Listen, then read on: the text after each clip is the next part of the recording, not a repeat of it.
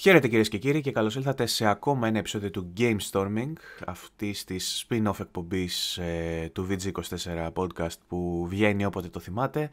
Ε, έχουμε ήδη απολογηθεί πολλές φορές για αυτή την μεγάλη ανάπαυλα που είχαμε ε, προαναγγείλει βέβαια με την αλλαγή που έγινε στο site. Ε, επιστρέφουμε ε, σε άγνωστο template περιοδικότητας, δεν ξέρουμε αν ακόμα θα το καθιερώσουμε το κάθε πέμπτη αλλά τουλάχιστον ελπίζουμε να επιστρέφουμε, να επιστρέφουμε για, για πάντα. Ποτέ μιλες πάντα Για βέβαια. πάντα. Για πάντα. Μέχρι να πεθάνουμε, όχι. Λοιπόν, αυτός που ακούτε στο βάθος είναι ο Βασίλης ο Τατσιόπουλος. Γεια σου Βασίλη. Καλησπέρα σας. Πιστεύω ότι σου έχει λείψει και σένα πάρα πολύ το να βρισκόμαστε εδώ πέρα και να σπαζοκεφαλιόμαστε και να λέμε τα Βεβαίως. δικά μας. Ε, Βεβαίως. μπορεί και να όχι. προλάβουμε όμως. Αλλά Τόσο καιρό ναι. που να προλάβουμε. Δηλαδή, έχεις ταυτόχρονα το site, έχεις το Elden Ring, έχεις το ένα, έχεις το άλλο. Ήταν λίγο... Να σου πω ότι δεν είναι καν η πρώτη φορά που ανοίγω αγουροξυπνημένος γιατί ξενύχτησα με Elden Ring. Ε, απλά αυτή τη φορά έχω απέναντί μου έναν συνομιλητή που έχει κάνει το ίδιο. Είμαστε κομμάτια γιατί παίζουμε Elden Ring ε, ανελιπώς και ακατάπαυστα. Ε, αν το έλεγε αυτό κάποιος σε μένα πριν ε, κάνα χρόνο θα έλεγα ότι είναι τρελός. Δεν υπάρχει περίπτωση να κάτσω να παίξω 40 κάτι ώρες που έχω παίξει, ξέρω εγώ, Elden Ring που έχω φτάσει 55 level και δεν περίμενα ποτέ να έχω ασχοληθεί τόσο. Περίμενα να το έχω παρατήσει το πρώτο boss, ας πούμε. Ε, τέλος πάντων, και επειδή ασχολούμαστε τόσο πολύ με το Elden Ring και ο Βασίλης έχει ξεκολουθεί βασικά να γράφει άρθρα στο site, έχει αναλάβει και το review το οποίο ακόμα δεν έχει φέρει εις πέρας και λογικό είναι γιατί το πήραμε, είπαμε, στο launch του Βασίλη την ίδια μέρα ή μία Ναι. μέρα νωρίτερα, δεν θυμάμαι. Ενώ σου πω ακριβώς. δεν θυμάμαι ούτε εγώ, μπορεί να ήταν την προηγούμενη ίσως ή την ίδια, τέλος πάντων. Ε, οπότε δεν είχαμε στο λανσάρισμα review. Ετοιμάζει ακόμα το review ο Βασίλης. Ε, δεν νομίζω ότι υπάρχει κάποιος ε, μεγάλος φαν της σειράς που περιμένει να διαβάσει αυτό το συγκεκριμένο Ε, καλά. review για να το παίξει το παιχνίδι. Ε, όμως ο ρόλος ο δικός μας νομίζω ότι μέσα από αυτή την εκπομπή με το κοινό που έχουμε και στον κόσμο που απευθυνόμαστε είναι με συγχωρείτε είμαι και λίγο μπουκωμένος σήμερα, ε, είναι να ε, απευθυνθούμε στο πιο casual κοινό και στο πιο mainstream κοινό και να πούμε κάποια πράγματα για όλα αυτά που ακούει από το πιο hardcore κοινό, ρε παιδί μου. Ε, τουλάχιστον ο δικός μου ρόλος είναι ακριβώς αυτός. Ε, μιλάω σε ένας άνθρωπος ο οποίος δεν είναι εξειδικευμένος στα Souls, όμως έχει προσπαθήσει τώρα πρόσφατα ε, με τον Demon Souls καταφέρνοντας ας πούμε σε έναν βαθμό να το παίξει και να το ευχαριστηθεί και πλέον με το Elden Ring ε, το απολαμβάνω και αυτό πάρα πολύ και το διασκεδάζω και είμαι σε θέση να πω και κάποια πράγματα γιατί έχω εντρυφήσει στο συγκεκριμένο παιχνίδι πάντα ε, αρκετά. Δηλαδή ε, βρίσκω τον εαυτό μου να βοηθάω παίχτες οι οποίοι ασχολούνται και με αυτά τα παιχνίδια και να έχω βρει πράγματα τα οποία δεν έχουν βρει εκείνοι. Μου, μου δίνει μια ευχαρίστηση αυτή, αυτό, αλλά προσπαθώ να μην πάω στο άλλο άκρο, σε αυτό που λέγαμε στο προηγούμενο το podcast με τους purists και με, τα, τέλος, με αυτό το, κι- με αυτό το, το κοινό τέλος πάντων, που κάποιοι από αυτούς μπήκανε και στο podcast το προηγούμενο και μου κάνουν κάποια σχόλια, με, με πρικίσανε με κάποια σχόλια, αλλά δεν ε, ασχολούμαι ιδιαίτερα γιατί θα βριστούμε και είναι κρίμα. Ε, Βασίλη, είπαμε λοιπόν σε αυτό το επεισόδιο να ασχοληθούμε πάλι με Elden Ring, αλλά σε ένα μοτίβο έτσι game stormικό, δηλαδή ε, ε, να εντρυφήσουμε στο ίδιο το παιχνίδι, να ασχοληθούμε μόνο με το παιχνίδι, να πούμε κάποια πράγματα και κάποιες ιδέες που μας έχει προξενήσει και μας έχει προκαλέσει, αν θες. Ε, έτσι για να κάνουμε μια επάνωδο στα επεισόδια του Game Storming, να, να μπούμε σιγά σιγά πριν πιάσουμε τις πολύ πιο βαριές θεματολογίες στη συνέχεια. Ναι. Ε, θέλω να μου πεις λοιπόν εσύ ως ένας, ε, πες, μου- πες μας λίγο το, το background που έχεις με τα Souls Αυτό. Games ξανά, Καταρχάς να πούμε αυτό για να, ξέρει, να ξέρουμε γιατί, λέ- για ποιους... για να μην σε τι πάρει τύπου μπάλα και σένα. παίκτη μιλάμε, ναι. Ναι, για να μην σε πάρει και εσένα η μπάλα μαζί μου και έρχονται και σου λένε ότι ξέρω εγώ είσαι και εσύ σαν το λερό που έχει παίξει δύο παιχνίδια και βγήκε να μιλήσει τώρα για Elden Ring. Εγώ δεν είμαι, δεν είμαι κα- ε, πολύ υπορωμένος, παιδί μου, με, τη, με τις From τα παιχνίδια. Ποτέ δεν ήμουν πάρα πολύ πιστός ακόλουθος. Αλλά έχω, είχα, παίξει το, είχα παίξει τυχαία πρώτη φορά το Dark Souls. Είχα πάει σε φάση στο video club και είδα έναν τύπο με ένα σπαθί απ' έξω. Δεν ήξερα καν τι είναι, ρε παιδί μου τώρα, στο PlayStation 3 τώρα. Και λέω, ξέρω, «Ω». είχε ένα, ένα σκηνικό στο video club που πλήρωνες κάθε μήνα ένα fix ποσό και έπαιρνες όσα παιχνίδια ήθελες, απλά μπορούσες να έχεις ένα τη φορά. Δηλαδή, μπορούσες να κρατήσεις ένα παιχνίδι για ένα μήνα ή να αλλάζεις κάθε μέρα με τα ίδια λεφτά. Οπότε ξέρεις, δοκίμαζες διάφορα, ρε παιδί μου. Πήγαινες στο video club και έπαιρνε διάφορα πράγματα για να δεις τι είναι. Και πήρα το, Soul, το Dark Souls, το έβαλα Ωραία, λέω αρπιτζάκι, ξέρεις τι διαφάση. Dark Souls, όχι Demons. Dark. Καλή φάση, λέω αρπιτζάκι εδώ, σπαθάκια, τέτοια, γουστάβουμε, ωραία. Πάω στο πρώτο εχθρό και με συνειδητοποίησα από την αρχή ότι κάτι δεν πάει καλά. Γιατί μόλις έφαγα ένα damage, παιδί μου, ήμουν σε φάση εγώ. γιατί τόσο πολύ. Αλλά όπως και να έχει, μου άρεσε πολύ και ασχολήθηκα τότε και το τερμάτισα το Dark Souls με σάλιο και υπομονή. Ε, αλλά μετά δεν έπαιξα τα υπόλοιπα, το 2 και το 3, όταν είχαν βγει. Δεν, δεν είχα, δεν είχα, πώς να, δεν είχα όρεξη, παιδί μου, ξέρεις. Δηλαδή, θυμήθηκα, μου άρεσε πολύ το Dark Souls το πρώτο, αλλά θυμόμουν πώς είχα περάσει και έλεγα δεν έχω τώρα αυτή τη στιγμή αυτή τη διάθεση. Γιατί δεν έχεις τα, τα ψυχικά αποθέματα. Ναι, πρέπει να είσαι στο κατάλληλο mindset, ας πούμε, να είσαι στην κατάλληλη στιγμή για να κάτσει να παίξεις ένα τέτοιο παιχνίδι και να ασχοληθείς σοβαρά. Δεν γίνεται να είσαι σε, κατα... σε στιγμή που θες να παίξεις, ας πούμε, ένα Far Cry, να χαλαρώσεις και να βάλεις να παίξεις λίγο Dark Souls, ας πούμε. Δεν, δεν, δεν γίνεται. Οπότε δεν ασχολήθηκα τότε και μετά έπαιξα μετά από καιρό τα, το 2 και το 3, αλλά δεν το τερμάτισα. Όχι επειδή δεν μου άρεσαν, όπως και το Bloodborne δεν έχω, δεν έχω τερματίσει. Τα έχω παίξει και τα τρία αυτά για, για αρκετές ώρες, όχι μια-δυο ώρες, αλλά δεν τα έχω τερματίσει γιατί αυτό που συνέβαινε είναι το εξής. Ε, εγώ, ας πούμε, το Bloodborne δεν το είχα πάρει για review. Το είχα πάρει εγώ μόνος μου, το έχω αγοράσει να το παίξω. Ξεκινούσα να παίζω από την αρχή. Έπαιζα, έπαιζα, έπαιζα. Είχα παίξει εγώ 6 ώρες, π.χ. λέμε τώρα. Και μετά ερχόταν ένα παιχνίδι για review. Κάποιο σημαντικό παιχνίδι για review, ας πούμε. Μεγάλο σε διάρκεια. Π.χ. λέμε τώρα, ας πούμε, για παράδειγμα, το Assassin's Creed Odyssey. Ε, για να κάνεις το Assassin's Creed Odyssey review, δεν γίνεται να παίζεις ταυτόχρονα Bloodborne. Πρέπει να παρατήσεις το άλλο να ασχοληθείς με αυτό. Οπότε παρατάς το άλλο, ασχολείσαι με αυτό, παίζεις 40 ώρες σε Assassin's Creed Odyssey, περνάνε δύο εβδομάδες π.χ. Και μετά λες: Α, τι ωραία, θα συνεχίσω να παίζω Bloodborne. Ε, δεν θα συνεχίσεις να παίζεις Bloodborne γιατί δεν θυμάσαι τίποτα. Και δεν είναι παιχνίδι που λες: Α, OK, okay, θα παίξω μισή ώρα, θα το θυμηθώ. Δεν θυμάμαι απολύτως τίποτα. Πού πάω, πού είμαι, πώς παίζει. Πάω από την αρχή, λέω: Δεν υπάρχει πρόβλημα. Ξανά από την αρχή. Αυτό έχει γίνει σε φάση 7 φορές συνολικά μέχρι που αποφάσισα ότι δεν θα το παίξω το Bloodborne. Είναι της μοίρας του. Γραφτό δεν παιδί μου αποκλείεται. Το ίδιο και το Dark Souls 1 και 2 ε, και 3 το Sekiro ε, τερμάτισα, τον έκανα review. Μου έβγαλε πραγματικά. Το Sekiro και το Demon Souls έχω τερματίσει. Αυτά τα τρία έχω τερματίσει δηλαδή. Το Dark Souls το ένα, το Sekiro και το Demon Souls. Το καινούργιο Demon Souls. Το και με το Elden Ring πας για το τέταρτο παιχνίδι. Οπότε... Ναι, το ε... Sekiro ήταν το πιο δύσκολο από όλα για μένα. Η πιο μεγάλη ταλαιπωρία που έχω περάσει. Θα τα πούμε και μετά αυτά όμως για τη δυσκολία του Elden Ring. Συγκεκριμένα. Ναι. Αλλά ναι, έχω παίξει και άλλα Souls-like γενικά. Νομίζω ε, ότι among, among the fans θα σου λέγανε είτε για το 2 είτε για το 3 ότι καλά έκανες και δεν το έπαιξες. Σε όσους έχω πει. αυτό μου έχει πει. Δεν ναι. έχω ακουμπήσει το 2, είναι το μόνο που δεν έχω ακουμπήσει. Εγώ από την άλλη, για να δώσω το δικό μου το background, ε, έχω τερματίσει μόνο Demon Souls και πάω τώρα να τερματίσω και το Elden Ring που πάω αρκετά καλά και πιστεύω θα τα καταφέρω. Ε, Dark Souls 1 σχεδόν το έχω τερματίσει, το άφησα για τους ίδιους λόγους που είπες ότι το άφησες και εσύ. Ε, το 3 το έχω ξεκινήσει, δεν ξέρω σε ποιο σημείο έχω φτάσει. Το έχω πάρει στο PC και το έχω φτάσει σε ένα σημείο. Ε, το 2 δεν το έχω ακουμπήσει καν. Ποτέ. Και σε όσους λέω ότι το 2 δεν το έχω ακουμπήσει και το βρίσκω σε κάτι κλειδά 17 ευρώ, ας πούμε, και λέω μήπως να το πάρω να ασχοληθώ με το 2, ας πούμε. Μου λένε όχι, μην το κάνεις καν. Και τους λέω έχω, έχω, έχω το 3 και μου λένε το, σε άλλους και μου λένε τι το πήρες το 3, ξέρω εγώ. Δεν είναι ωραίο. Ε, είναι λίγο ακόμα και για τους μεγάλους fans των Souls, είναι love it or hate it όλα. Ε... Ναι, είναι πολλοί που λένε, ας πούμε, άλλος λέει το 2 είναι τελείως χάλια, άλλος λέει το 3 είναι τελείως χάλια. Είναι, υπάρχουν διάφορα. Εμένα όλα καλά μου φαίνονται. Εντάξει, το ένα μου φάνηκε, χωρίς να τα έχω παίξει πολύ τα άλλα. Το πρώτο μου φάνηκε καλύτερο όσο το, τα είδα τα υπόλοιπα δηλαδή. Το Bloodborne ενώνει λίγο όμως όλους τους Souls fans. Ναι. Είναι αυτό που λένε όλοι ότι είναι ανυπέρβλητο, ας πούμε. Όντως. Ε, και θα γίνω party pooper να πω πάλι εγώ ότι είναι από τα τεχνικά από τα χειρότερα, ξέρω εγώ, το Bloodborne εκτός από τα υπόλοιπα.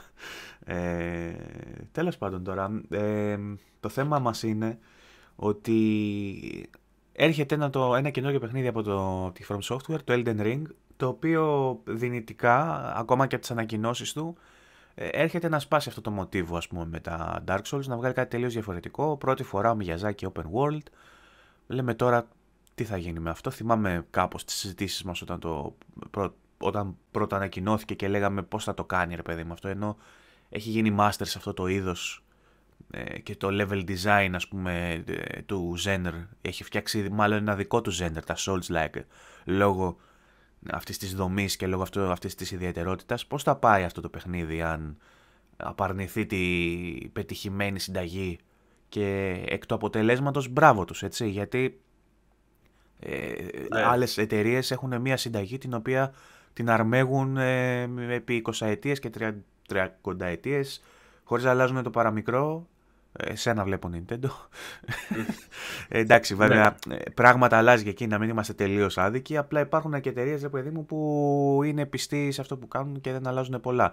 Θα έρθει κάποιος βέβαια να σου απαντήσει ότι και, στο, και στα Souls υπάρχουν πράγματα που μένουν ίδια, αλλά και υπάρχουν άλλοι λόγοι που μένουν ίδια. Ε, καλά, το Elden Ring είναι, είναι τεράστια αλλαγή σε σχέση με τα άλλα. Παρόλο ναι. που αισθάνεσαι ότι παίζεις παιχνίδι της εταιρείας και αυτό είναι και το ωραίο όμως. Ναι. Ότι αισθάνεσαι παρόλα αυτά ότι παίζεις παιχνίδι της εταιρείας αυτής Όμως έχει, έχει πάρα πολύ μεγάλες αλλαγές. Δεν είναι το ίδιο πράγμα τώρα. Έχει αλλάξει όλη η δομή, ας πούμε.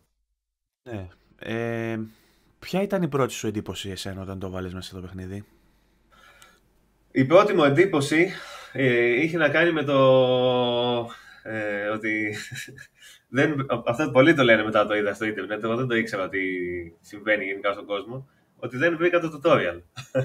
Ναι. Βγήκα έξω κατευθείαν. Έχει γίνει μεγάλη κουβέντα για το UX τώρα αυτές τις μέρες μεταξύ. Έγραψε και ένα άρθρο, ένα, άρθρο, ένα, ένα post στο mm. γκρουπάκι μας ο, ο Γιάννης ο Σαρής, που είναι στην ομάδα του PS Addict, απλά συχνάζει και σε εμάς. Ε, και έχει κάποια debate, τον βλέπω και στο Twitter αυτόν, ότι έχει κάποια debate με κάποιους ξένους του, Twitterάδες που λένε για το UX του παιχνιδιού ότι είναι κακό και το έχουν μπλέξει με το UI και άλλοι λένε, ξέρω εγώ, ότι έχει κακό UX και μπαίνει άλλο που έχει κακό UI, ξέρω εγώ το παιχνίδι. Κοίτα εδώ πώς είναι της Ubisoft και κοίτα εδώ πώς είναι ε, του, του Elden Ring. Είναι το, το κλασικό φαινόμενο που μιλάνε όλοι για άλλο πράγμα. Ναι, ενώ το, user, το UX ουσιαστικά αναφέρεται στο user experience, ενώ το UI είναι στο ε, γραφικό περιβάλλον, ας πούμε, στη, στη διαπαφή με τον χρήστη και το τι μενού και τι ενδείξεις σου εμφανίζεις στην, στην επιφάνεια της οθόνης σου. Ε, τώρα, ε, αυτό έχει να κάνει λίγο με το... Ε, δεν, ξέρω, δεν έχει να κάνει ούτε με το UX ούτε με το UI τόσο, παρά με το level design ας πούμε και με τις επιλογές ε, του δημιουργού για το πώς θα καθοδηγήσει τον παίχτη με τα ερεθίσματα του ίδιου του παιχνιδιού, χωρίς waypoints δηλαδή και χωρίς δείκτες. Ε, και είχα δει μια εικόνα την οποία την είχα ανεβάσει και εγώ στο Twitter, είχα κάνει ένα retweet που είχε βάλει ένας και έδειχνε με βελάκια ρε παιδί μου ότι ε, παραδοσιακά όταν ε, κάνεις level design βάζεις την περίοπτη θέση, ας πούμε αυτή που φωτίζεται καλά και είναι στο κέντρο της οθόνης και κάπου ψηλά, ας πούμε, βάζεις εκεί που θέλει να πάει ο παίχτης γιατί αυθόρμητα, ξέρω εγώ, του βγαίνει πηγαία ότι εκεί πρέπει να πάω. Και στο Elden Ring είχε, ξέρω εγώ, ε, αυτό το σημείο που πρέπει να βγει στον κεντρικό κόσμο σε αυτή την περίοπτη θέση και κάπου σε μια γωνία, ξέρω εγώ, με απλά με έναν τύπο που καθόταν σε έναν θρόνο πεθαμένο σχεδόν, μηθανή, ε, είχε μία γούβα, είχε ένα κενό στο οποίο υπήρχαν και επιγραφές από τους άλλους παίχτε, πέσε μέσα και τέτοια. Ναι, όσοι, αλλά... όσοι είχαν παίξει όμως προηγούμενα Dark Souls, ξέραν ότι όταν σου λέει κάποιος και σου γράφει πίδα, είναι σαν, είναι σαν αυτό το meme που λέει do a flip, που είναι ο άλλος έτοιμος και λέει θα αυτοκτονήσω και λέει do a flip.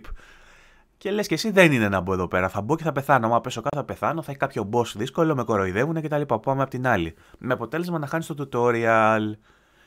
Και, Ισχύει, και μάλιστα ναι, αυτός, αυτός ο χαρακτήρας που είναι δίπλα που λες πεθαμένος, σου λέει και αυτός κάτι του στυλ ε, πίδα, κάπως μεταφορικά το λέει όμως, όχι πίδα στην τρύπα, πίδα στη γνώση, ξέρω εγώ κάτι τέτοιο, σου λέει και αυτός επιδείξεις, αλλά κοιτώντας την τρύπα, δεν μοιάζει για ένα μέρος που μπορείς να πέσει. Φαίνεται ότι είναι πολύ ψηλά, δεν, δεν έχει κάπως να κατεβαίνει, ας πούμε. Και εγώ είπα ότι, OK, okay, ξέρω εγώ, εντάξει, θα πάω μετά στην τελική, παιδί μου, ξέρεις, θα δω. Και πήγα από την άλλη. Και βλέπω μετά, βγήκα έξω τέτοιο και λέει καλά δεν έχει δει τίποτα. Είχα διαβάσει δηλαδή ότι αυτό το παιχνίδι πρόκειται να είναι λίγο πιο φιλικό στο χρήστη. Mm.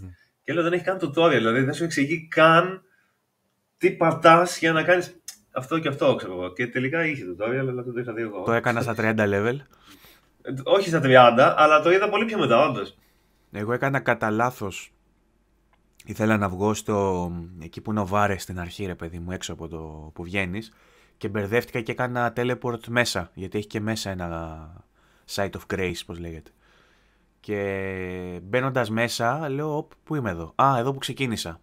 Και λέω τώρα που είμαι OP, ας πούμε, για να πάω να δω τι παίζει εκεί πέρα. Ας πούμε, μπορώ να πέσω. Και μπαίνω μέσα και μου λέει press, ε, ξέρω εγώ, R1, RB, πώς είναι στο Xbox που το έχω εγώ. το, ε, για να κάνεις light ε, damage. Λέω, τι, τι μου λέει τώρα, έχω φτάσει 30 level, έχω, έχω σφάξει τον Godric. Τι θες τώρα και μου λες εδώ πέρα; Και όντως ε, ισχύει αυτό. Βέβαια, από την άλλη, ε, αν και θα ήθελα βέβαια να ξεκαθαρίζετε το tutorial και να, να μην είναι missable το tutorial όπως και άλλα πράγματα στην πρώτη περιοχή που είναι missable, νομίζω ότι είναι ένας τρόπος μιζακικός να σου κάνει tutorial και κυρίως όχι να κάνει tutorial στους αρχάριους παίχτες που έρχονται για πρώτη φορά να παίξουν τέτοιο παιχνίδι, αλλά στους παλιότερους οι οποίοι έχουν μάθει να μην εμπιστεύονται το κόλλο τους ας πούμε, από τα Souls και ότι ε, μην ακούς ξέρω εγώ τις επιγραφές γιατί ο άλλος σε τρολάρει, μην πέφτεις αν δεν ξέρεις σίγουρα ότι υπάρχει ένα path μην πέφτεις για να πεθάνεις και θα χάσεις ψυχές σου και τέτοια ενώ επειδή στο Elden Ring θέλουν να προωθήσουν αυτή την εξερεύνηση και θέλουν να οθήσουν τον παίχτη στο να ψάξει περισσότερο ε, ακόμα και το tutorial πιστεύω ότι το βάλανε σκοπίμως έτσι και εγώ για, να σου δείξω, ναι. για να σου δείξω ότι κοίτα να δεις τώρα από εδώ και πέρα που θα βγεις μην περνάς ντουγρού, ξέρω εγώ, γιατί παντού μπορεί να υπάρχουν μικρές λεπτομέρειες. Και καταλήγει ε, περίπου 40 ώρες που έχω παίξει αργότερα ε, μέσα στο μυαλό μου να είναι αυτό το μεγάλο ατού, το μεγάλο θετικό του παιχνιδιού. Η εξερεύνησή του. Ε, ναι, νο... ναι, το tutorial είναι και το, το πώς θα το βρεις είναι και αυτό μέρος σε κάποια, κατά κάποιο τρόπο το tutorial. Δηλαδή σου λέει ότι σε μαθαίνει πώς θα χρειαστεί να παίξεις μετά. Ότι δηλαδή κάποιοι NPCs θα σου δώσουν slight hints που θα ναι, βλέπεις ένα αλληγορικά. Ναι, και σου λέει βούτας στη γνώση και αυτό το βούτας στη γνώση σημαίνει α πούμε κάποιες ώρες παρακάτω βλέπεις ένα NPC να σου λέει ότι αυτό που βλέπεις δεν είναι πάντα αυτό που ισχύει και μπροστά σου είναι ένα ντουβάρι το οποίο αν το βαρέσεις είναι illusion και ανοίγει και περνάς από μέσα του ας πούμε. Ε, θέλει λοιπόν το παιχνίδι να σου δείξει ότι δεν πρόκειται. Ναι. Αυτό είναι ένα μάθημα και για τους παλιότερους ας πούμε Souls fans, αν και υπήρχαν η αόρατη τύχη και τα σχετικά, αλλά στο γενικότερο πλαίσιο αυτό της εξερεύνησης, η οποία εξερεύνηση, ξαναλέω, υπήρχε και στα προηγούμενα, απλά δεν υπήρχε με αυτόν τον τρόπο. Δεν υπήρχε ε, τόσο πυκ, ε, πυκνά, πυκνή πληροφορία και πυκνά μυστικά, ας πούμε. Ε, υπήρχε, ναι, η εξερεύνηση ξεκλείδωνε ας πούμε με κάποιο skill ή ανοίγοντας κάποιον κόσμο παρακάτω ας πούμε, και μετά όταν γέρναγες πίσω με βάση το tendency ας πούμε, κάποιου κόσμου ή οτιδήποτε. Αυτά ήταν στα Demon Souls βέβαια. Υπάρχουν και άλλα δύο και ένα Bloodborne το οποίο δεν έχω εντρυφήσει, οπότε μπορεί να υπάρχουν εκεί όλα αυτά που λέω. Άρα αν, αν έχεις εσύ δει, αν έχεις δει κάτι από αυτά που λέω και αλλού μου λες και ο κόσμος που μας ακούει βέβαια, μπορεί να μας διορθώνει από κάτω, με κόσμο τρόπο πάντα έτσι, Όποιος βρει, κόπηκε. ε, τέλος πάντων, ε, νομίζω λοιπόν ότι μετά από όλες αυτές τις ώρες το αγαπημένο μου πράγμα είναι αυτό με την εξερεύνηση. Πολλοί μιλήσαν με το που βγαίνεις έξω για ένα Zelda moment, το οποίο πάλι μας βάζει σε μια ανούσια κουβέντα και ένα debate που το βλέπω παντού τις τελευταίες μέρες. Ε, σε κοινότητες να συζητιέται και καλά το κατά πόσο ρε παιδί μου είναι καλύτερο το open world του Elden Ring από εκείνο του Zelda το οποίο εξάρουν ε, ακόμα και σήμερα πολύ έχοντας τους λάτρες και τους αρνητές. Από την άλλη έχουμε κάποιους παύλους κρούστιδες ας πούμε που λένε Zelda ξέρω εγώ Εφταράκι Εφταράκι ναι δεν, είναι, δεν έχει κάνει κάτι τόσο σοβαρό. Ε, ε, υπάρχουν άλλοι πολύ μεγάλοι Souls fans και ε, γενικότερα fans του είδους που με το που βγαίνουν έξω και βλέπουν αυτό το overworld στο Elden Ring όπα sorry τράβηξε ένα καλώδιο ε, λένε Zelda Moment, ας πούμε, που έχεις στο Zelda μόλις βγαίνεις από τη σπηλιά και βλέπεις ξαφνικά μπροστά σου ένα τεράστιο κόσμο, πρω, πρωτόγνωρο, ας πούμε, κιόλας και για τα παιχνίδια της Nintendo και για το open world της Nintendo. Και το ονομάζουν αυτό Zelda Moment. Ε, το Elden Ring το κάνει αυτό πολύ Δεν, είναι, δεν πατάς το κουμπί σου. Το πατάω το κουμπί μου. Όχι, παίζει να το πατάς το κουμπί σου και να έχω βγάλει το καλώδιο. Μάλλον έχω βγάλει το καλώδιο. Για μιλά μου. Καλησπέρα σας. Γεια σου, ναι. Όταν τράβηξε το καλώδιο, βγήκε το καλώδιο μου. Για ναι. ξανά πες το μου. Ε, εγώ αυτό το βλέπω για Elder, Elder Scrolls moment, όχι Zelda. Δεν ξέρω γιατί Zelda. Δηλαδή, Elder Scrolls είναι το κλασικό, ότι είσαι στο Πουντρούμι και ναι. βγαίνεις και σε φάση wow, υπάρχει ολόκληρος κόσμος εδώ. Βγει... Πότε είχε βγει το Skyrim και πότε είχε βγει το Zelda, θυμάσαι; Το Skyrim είχε βγει το 11. Mm-hmm. Το Zelda. Το Zelda Πολύ πιο. Δεν ξέρω το 19 πότε ήταν. Οπότε μας λες ότι το Zelda αντέγραψε Skyrim. Όχι, αλλά ήταν το κλασικό αυτό. Ήταν το κλασικό της σειράς ε, Elder Scrolls αυτό. Και στο Morrowind και στο Oblivion. Ειδικά στο Oblivion. Γιατί είχε και μεγάλο άλμα στα γραφικά από το Morrowind. Το, και Breath, of the Wild βγήκε το, το Breath of the Wild μου λέει ότι βγήκε το 2017. 17? Ναι. Έχουν περάσει τόσα χρόνια. Α, ναι, αφού το έχω παίξει στο Wii U σκέψου. Ναι, βγήκε cross-gen. Ήταν στο τόσα χρόνια, με φίλε, το, το Breath of the Wild, ε. Ορίστε και το συζητάμε ακόμα και άλλος λέει φταράκι. Ποιο άλλο παιχνίδι βγήκε εκείνη τη Ναι, χρονιά και το σκέψου συζητάμε ότι, ακόμα; συζητα- σκέψου ότι τώρα φέραμε ως παράδειγμα το Elder Scrolls που είναι παιχνίδι του 11 όμως. Ναι, αλλά και το. Skyrim και το. Breath of the Wild πιθανότατα μετά από τόσα χρόνια θα το φέρνεις ως παράδειγμα.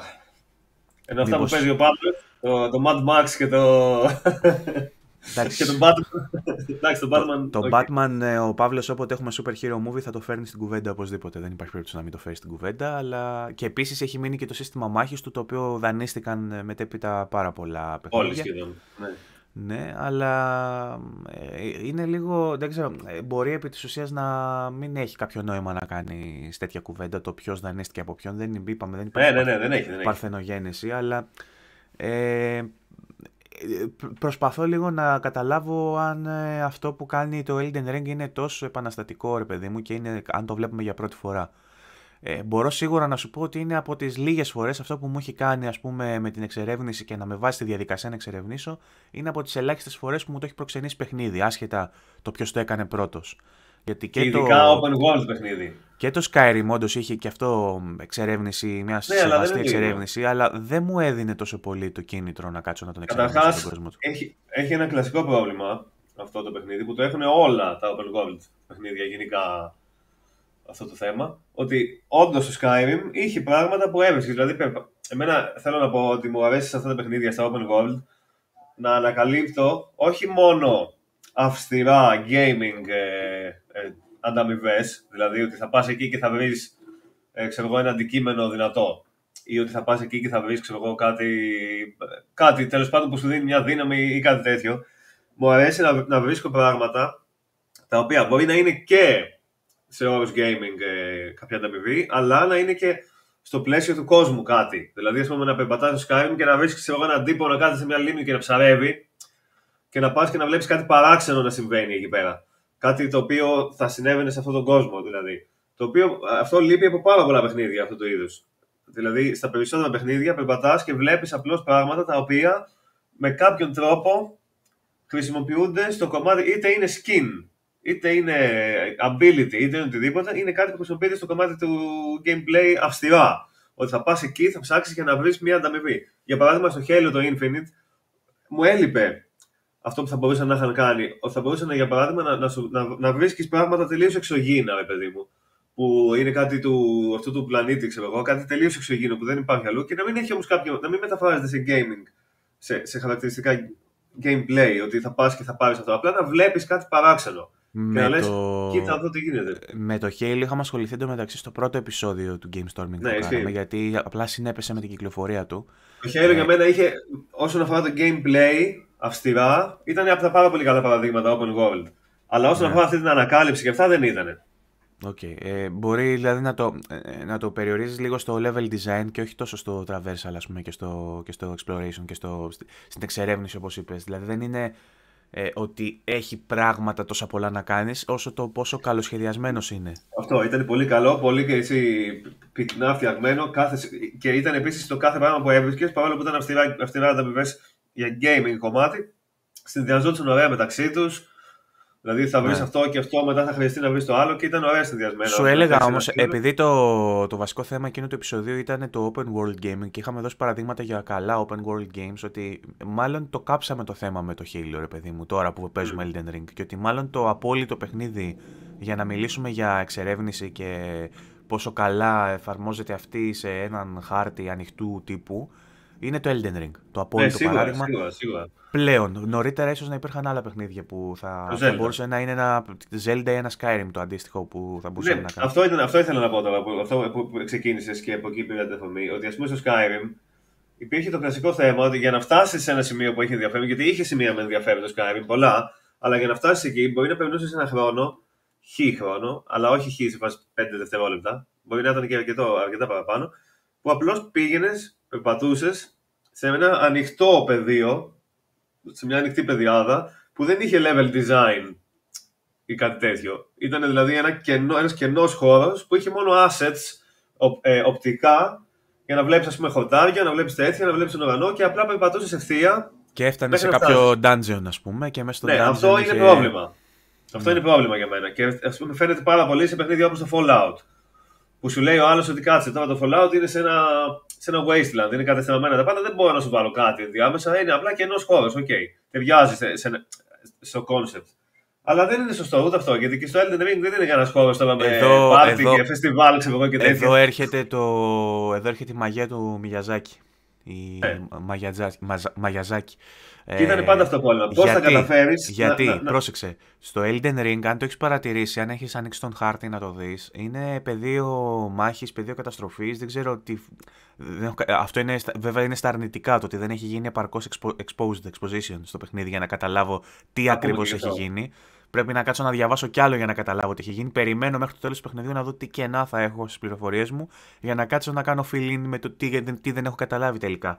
Αλλά ο ίδιος ο χάρτη, αν τον δεις, είναι σαν να έχει κρατήρες. Δηλαδή την πρόσβασή σου σε συγκεκριμένα κομμάτια του χάρτη στην κόβουν φαράγγια τα οποία έχουν δημιουργηθεί μετά από πόλεμο. Είναι σαν να, έχουν, να έχει γίνει μια καθίζηση μετά από κάποιον πόλεμο που έχει γίνει. Πιθανότατα εικάζω χωρίς να είμαι απολύτω σίγουρος, γιατί δεν έχω καταλάβει σε απόλυτο βαθμό τι παίζει με την ιστορία.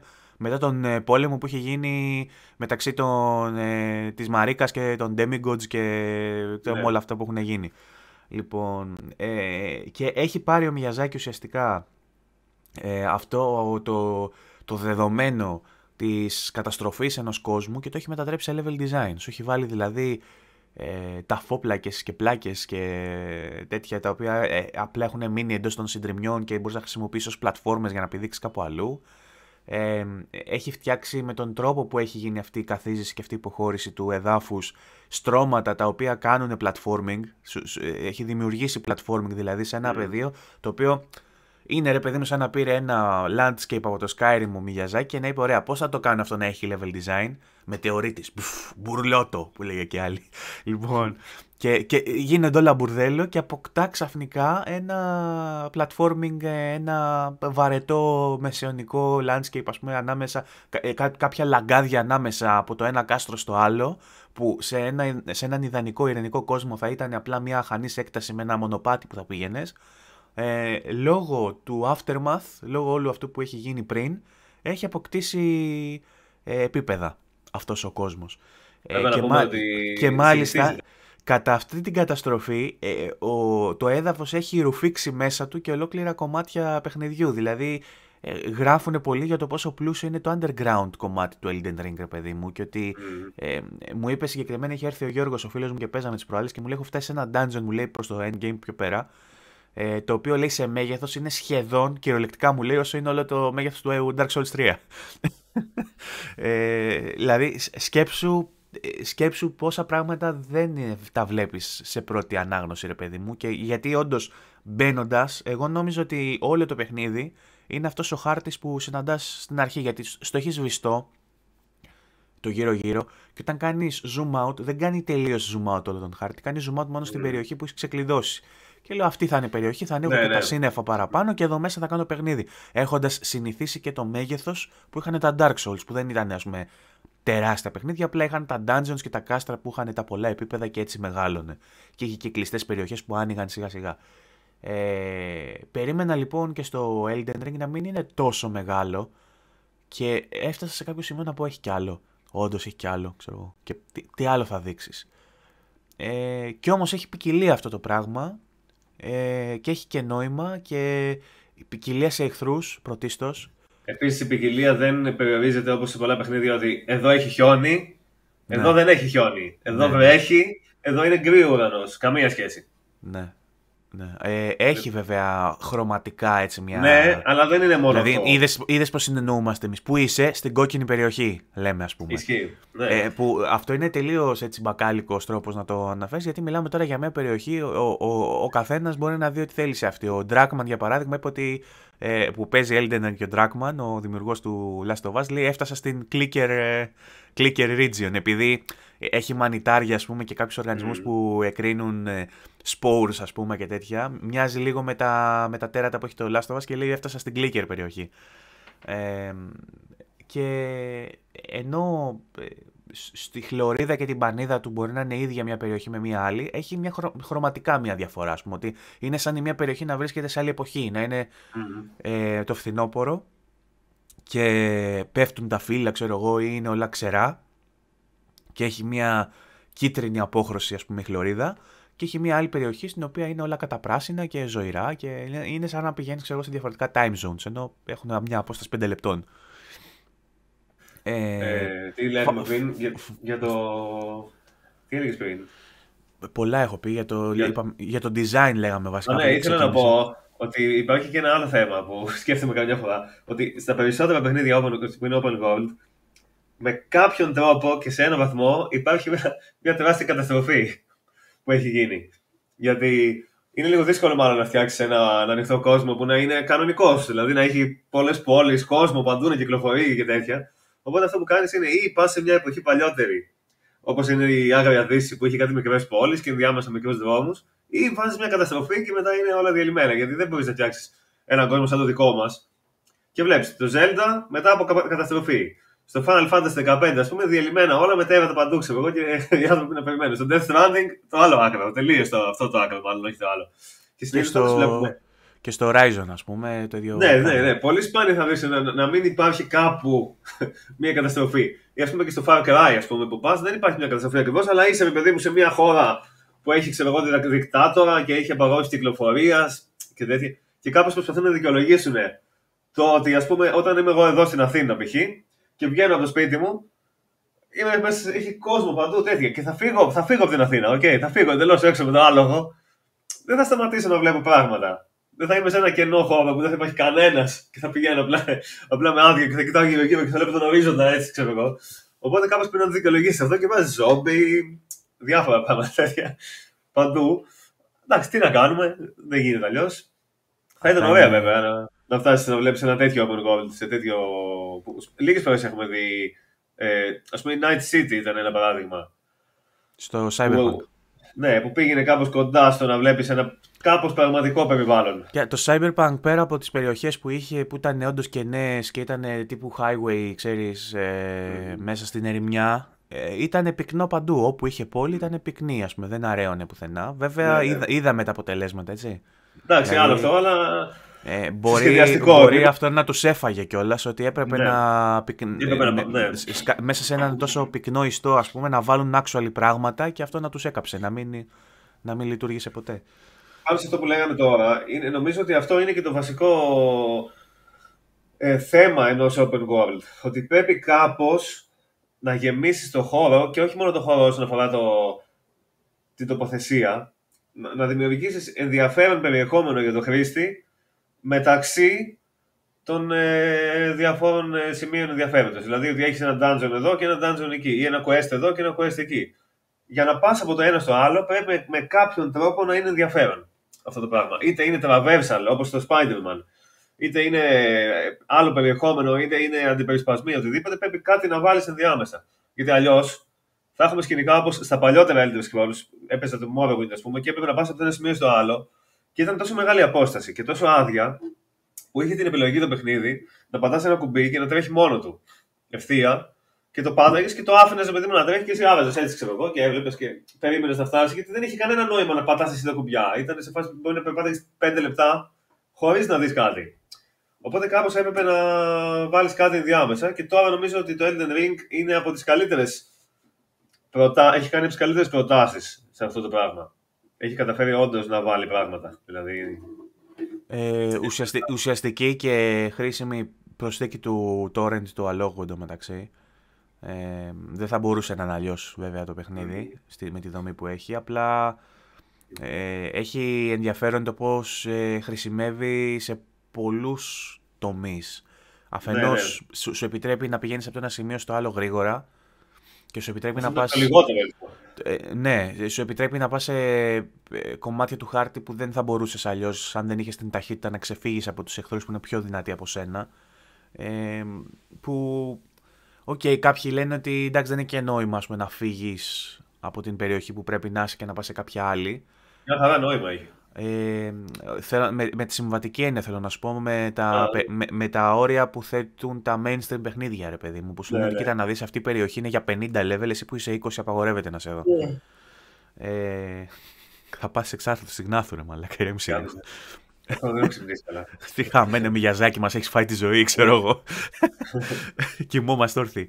Ε, τέλος πάντων, ε, σου επιτρέπει να φτάσεις ε, σε περιοχές που ίσως δεν θα έπρεπε να είσαι, αλλά και αυτό έχει τη μαγεία του, γιατί έχεις μια διαφορετική προσέγγιση και τη δεύτερη φορά που πας εκεί, στο σωστό level, παίζεις τελείως διαφορετικά, οπότε σου βάζει και άλλο gameplay μέσα σε όλο αυτό.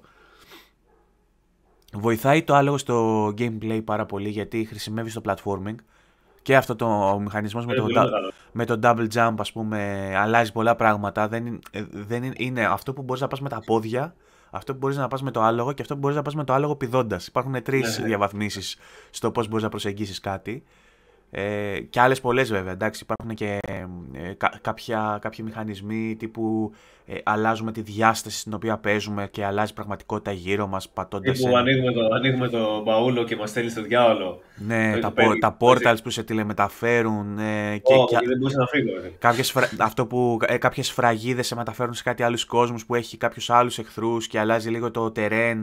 Και από εκεί που ήταν, ξέρω εγώ, νερό, ξαφνικά γίνεται έδαφος έχει τέτοια πράγματα. Πολύ ωραία πράγματα.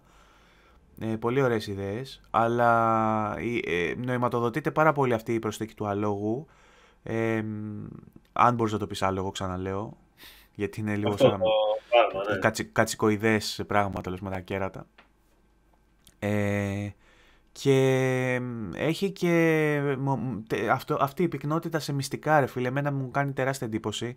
Το μόνο που με χαλάει λίγο είναι ότι έχει πράγματα missable τα οποία αλλάζουν πάρα πολύ την εμπειρία και είναι το μοναδικό πράγμα το οποίο νιώθω ότι ακόμα ίσως να μην σέβεται τόσο πολύ τον χρόνο που επενδύει ο παίχτης. Ε, και θέλω να πω ρε παιδί μου ότι ε, τώρα ζούμε σε μια εποχή που αν εγώ δεν ξέρω κάτι μέσω του ίντερνετ και μέσω των επαφ... της επαφής που έχω με άλλους παίχτες και το πώς έχουμε έρθει σε επικοινωνία μεταξύ μας και έχουμε οργανωθεί σε κοινότητες είτε μέσω facebook είτε σε ε, κοινότητες που είναι αφιερωμένες στην ανάλυση αυτού του παιχνιδιού ε, με οδηγούς στο ίντερνετ, με βιντεάκια στο YouTube, ε, κάντο έτσι αυτό, κάντο έτσι αλλιώς. Ένα googling μακριά από το να βρεις την απάντηση. Σκέψου να βγαίνει αυτό το παιχνίδι τη δεκαετία του 90, ας πούμε, ή πιο πριν, που δεν είχαμε ίντερνετ και όλα αυτά. Ναι. Και να μην έβρισκες. Στο, στο πρώτο camp που πας έχει ένα υπόγειο στο οποίο βρίσκεις το μαχαιράκι που χαράσεις τα Ashes of War πάνω στα όπλα. Εγώ αυτό το έχασα. Και μετά όταν έβρισκα Ashes of War, λέω αυτό που στο διάλογο είναι, ξέρω εγώ, γιατί δεν μπορώ να βάλω τα Ashes of War. Και κάπου ναι. σε κάποια συζήτηση, ας πούμε, σε κάποιο post κάπου, λέγανε στο πρώτο camp μην χάσετε, ξέρω εγώ, αυτό που έχει στο Μπουντρούμ. Λέει ποιο Μπουντρούμ ή ποιο πρώτο camp. Το πρώτο camp ήταν που πήρα το map, ας πούμε, δεν είχε κάτι άλλο. Και εκεί γυρνώντας ανακάλυψε ότι κοίτα να δεις, στα camps συνήθως έχει κάποια σκαλιά που κατεβαίνεις κάτω και έχει αυτά. Έχουν χάσει κι άλλα τέτοια, αλλά βρήκα μέσα σε ένα τόσο εύκολο να το χάσεις σημείο ε, κάτι πάρα πολύ βασικό για το playthrough. δηλαδή είναι από τα βασικά κομμάτια της μάχης τα Ashes of War, ρε παιδί μου. Δεν γίνεται να παίξεις χωρίς αυτά. Και σε μια διαφορετική εποχή που ο μόνος τρόπος ήταν, για, για, να μάθεις ένα μυστικό ήταν το word of mouth που ήταν πολύ πιο δύσκολο να, να στο πει ένας φίλος σου που το έχει ανακαλύψει που αν ήσασταν στο ίδιο επίπεδο παικτικά ίσως να μην το έχει ανακαλύψει ούτε εκείνος διαφορετικά θα παιδευόσουν να εισαεί να βρεις ένα μυστικό το οποίο πλέον σου είναι πολύ πιο εύκολα προσβάσιμο. Μπαίνεις στο Ιντερνετ και γράφεις εγώ, Α, έχω Ashes of War και δεν μπορώ να το χρησιμοποιήσω. Ε, how to use Ashes of War. Και σου βγάζει, μη χάσεις αυτό. Και πας και το κάνεις. Οπότε είναι μια έλλειψη στο quality of life κατά τη γνώμη μου το γεγονός ότι δεν σου επεξηγεί τουλάχιστον στην πρώτη περιοχή κάποια πράγματα. Ακόμα Ωστόσο, και το... Ναι. Υπάρχει και το αντίλογο σε αυτό που λέει ότι πρώτον αυτό που λες πάει και αντίστροφα.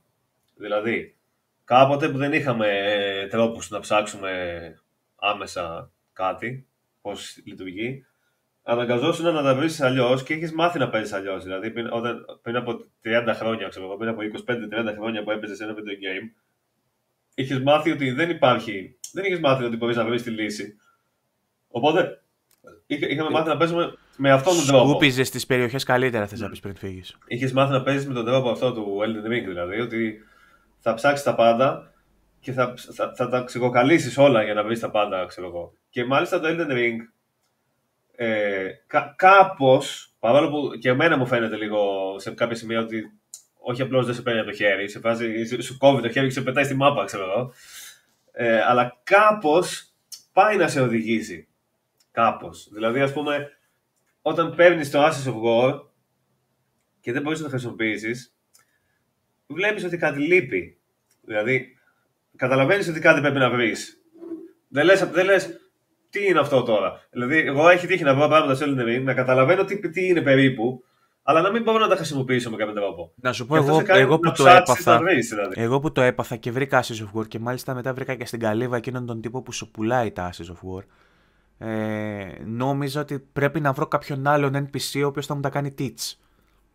Αυτό νόμιζα αρχικά. Και είχα αρχίσει και έψαχνα για NPCs. Δεν άρχισα να ψάχνω για loot. Η αλήθεια είναι πως ε, και εγώ νομίζω ότι το Elden Ring έχει, το έχει παρακάνει λίγο ε, στο κομμάτι του πόσο αφηρημένα είναι κάποια πράγματα. Δηλαδή, δέχομαι απόλυτα, απόλυτα και μη σου πω ότι μου αρέσει κιόλας ότι μπορώ να χάσω το tutorial και δεν μου εξηγεί τίποτα. Δέχομαι απόλυτα ότι βγαίνω έξω και δεν μου λέει κανείς πού να πάω, πώς να πάω, γιατί να πάω και όλα τα σχετικά. Και μάλιστα και αυτό μου αρέσει. Και μου αρέσει και όπως το έχει κάνει που σου δείχνει αυτή η φωτιά, πώ θα πού να πας περίπου.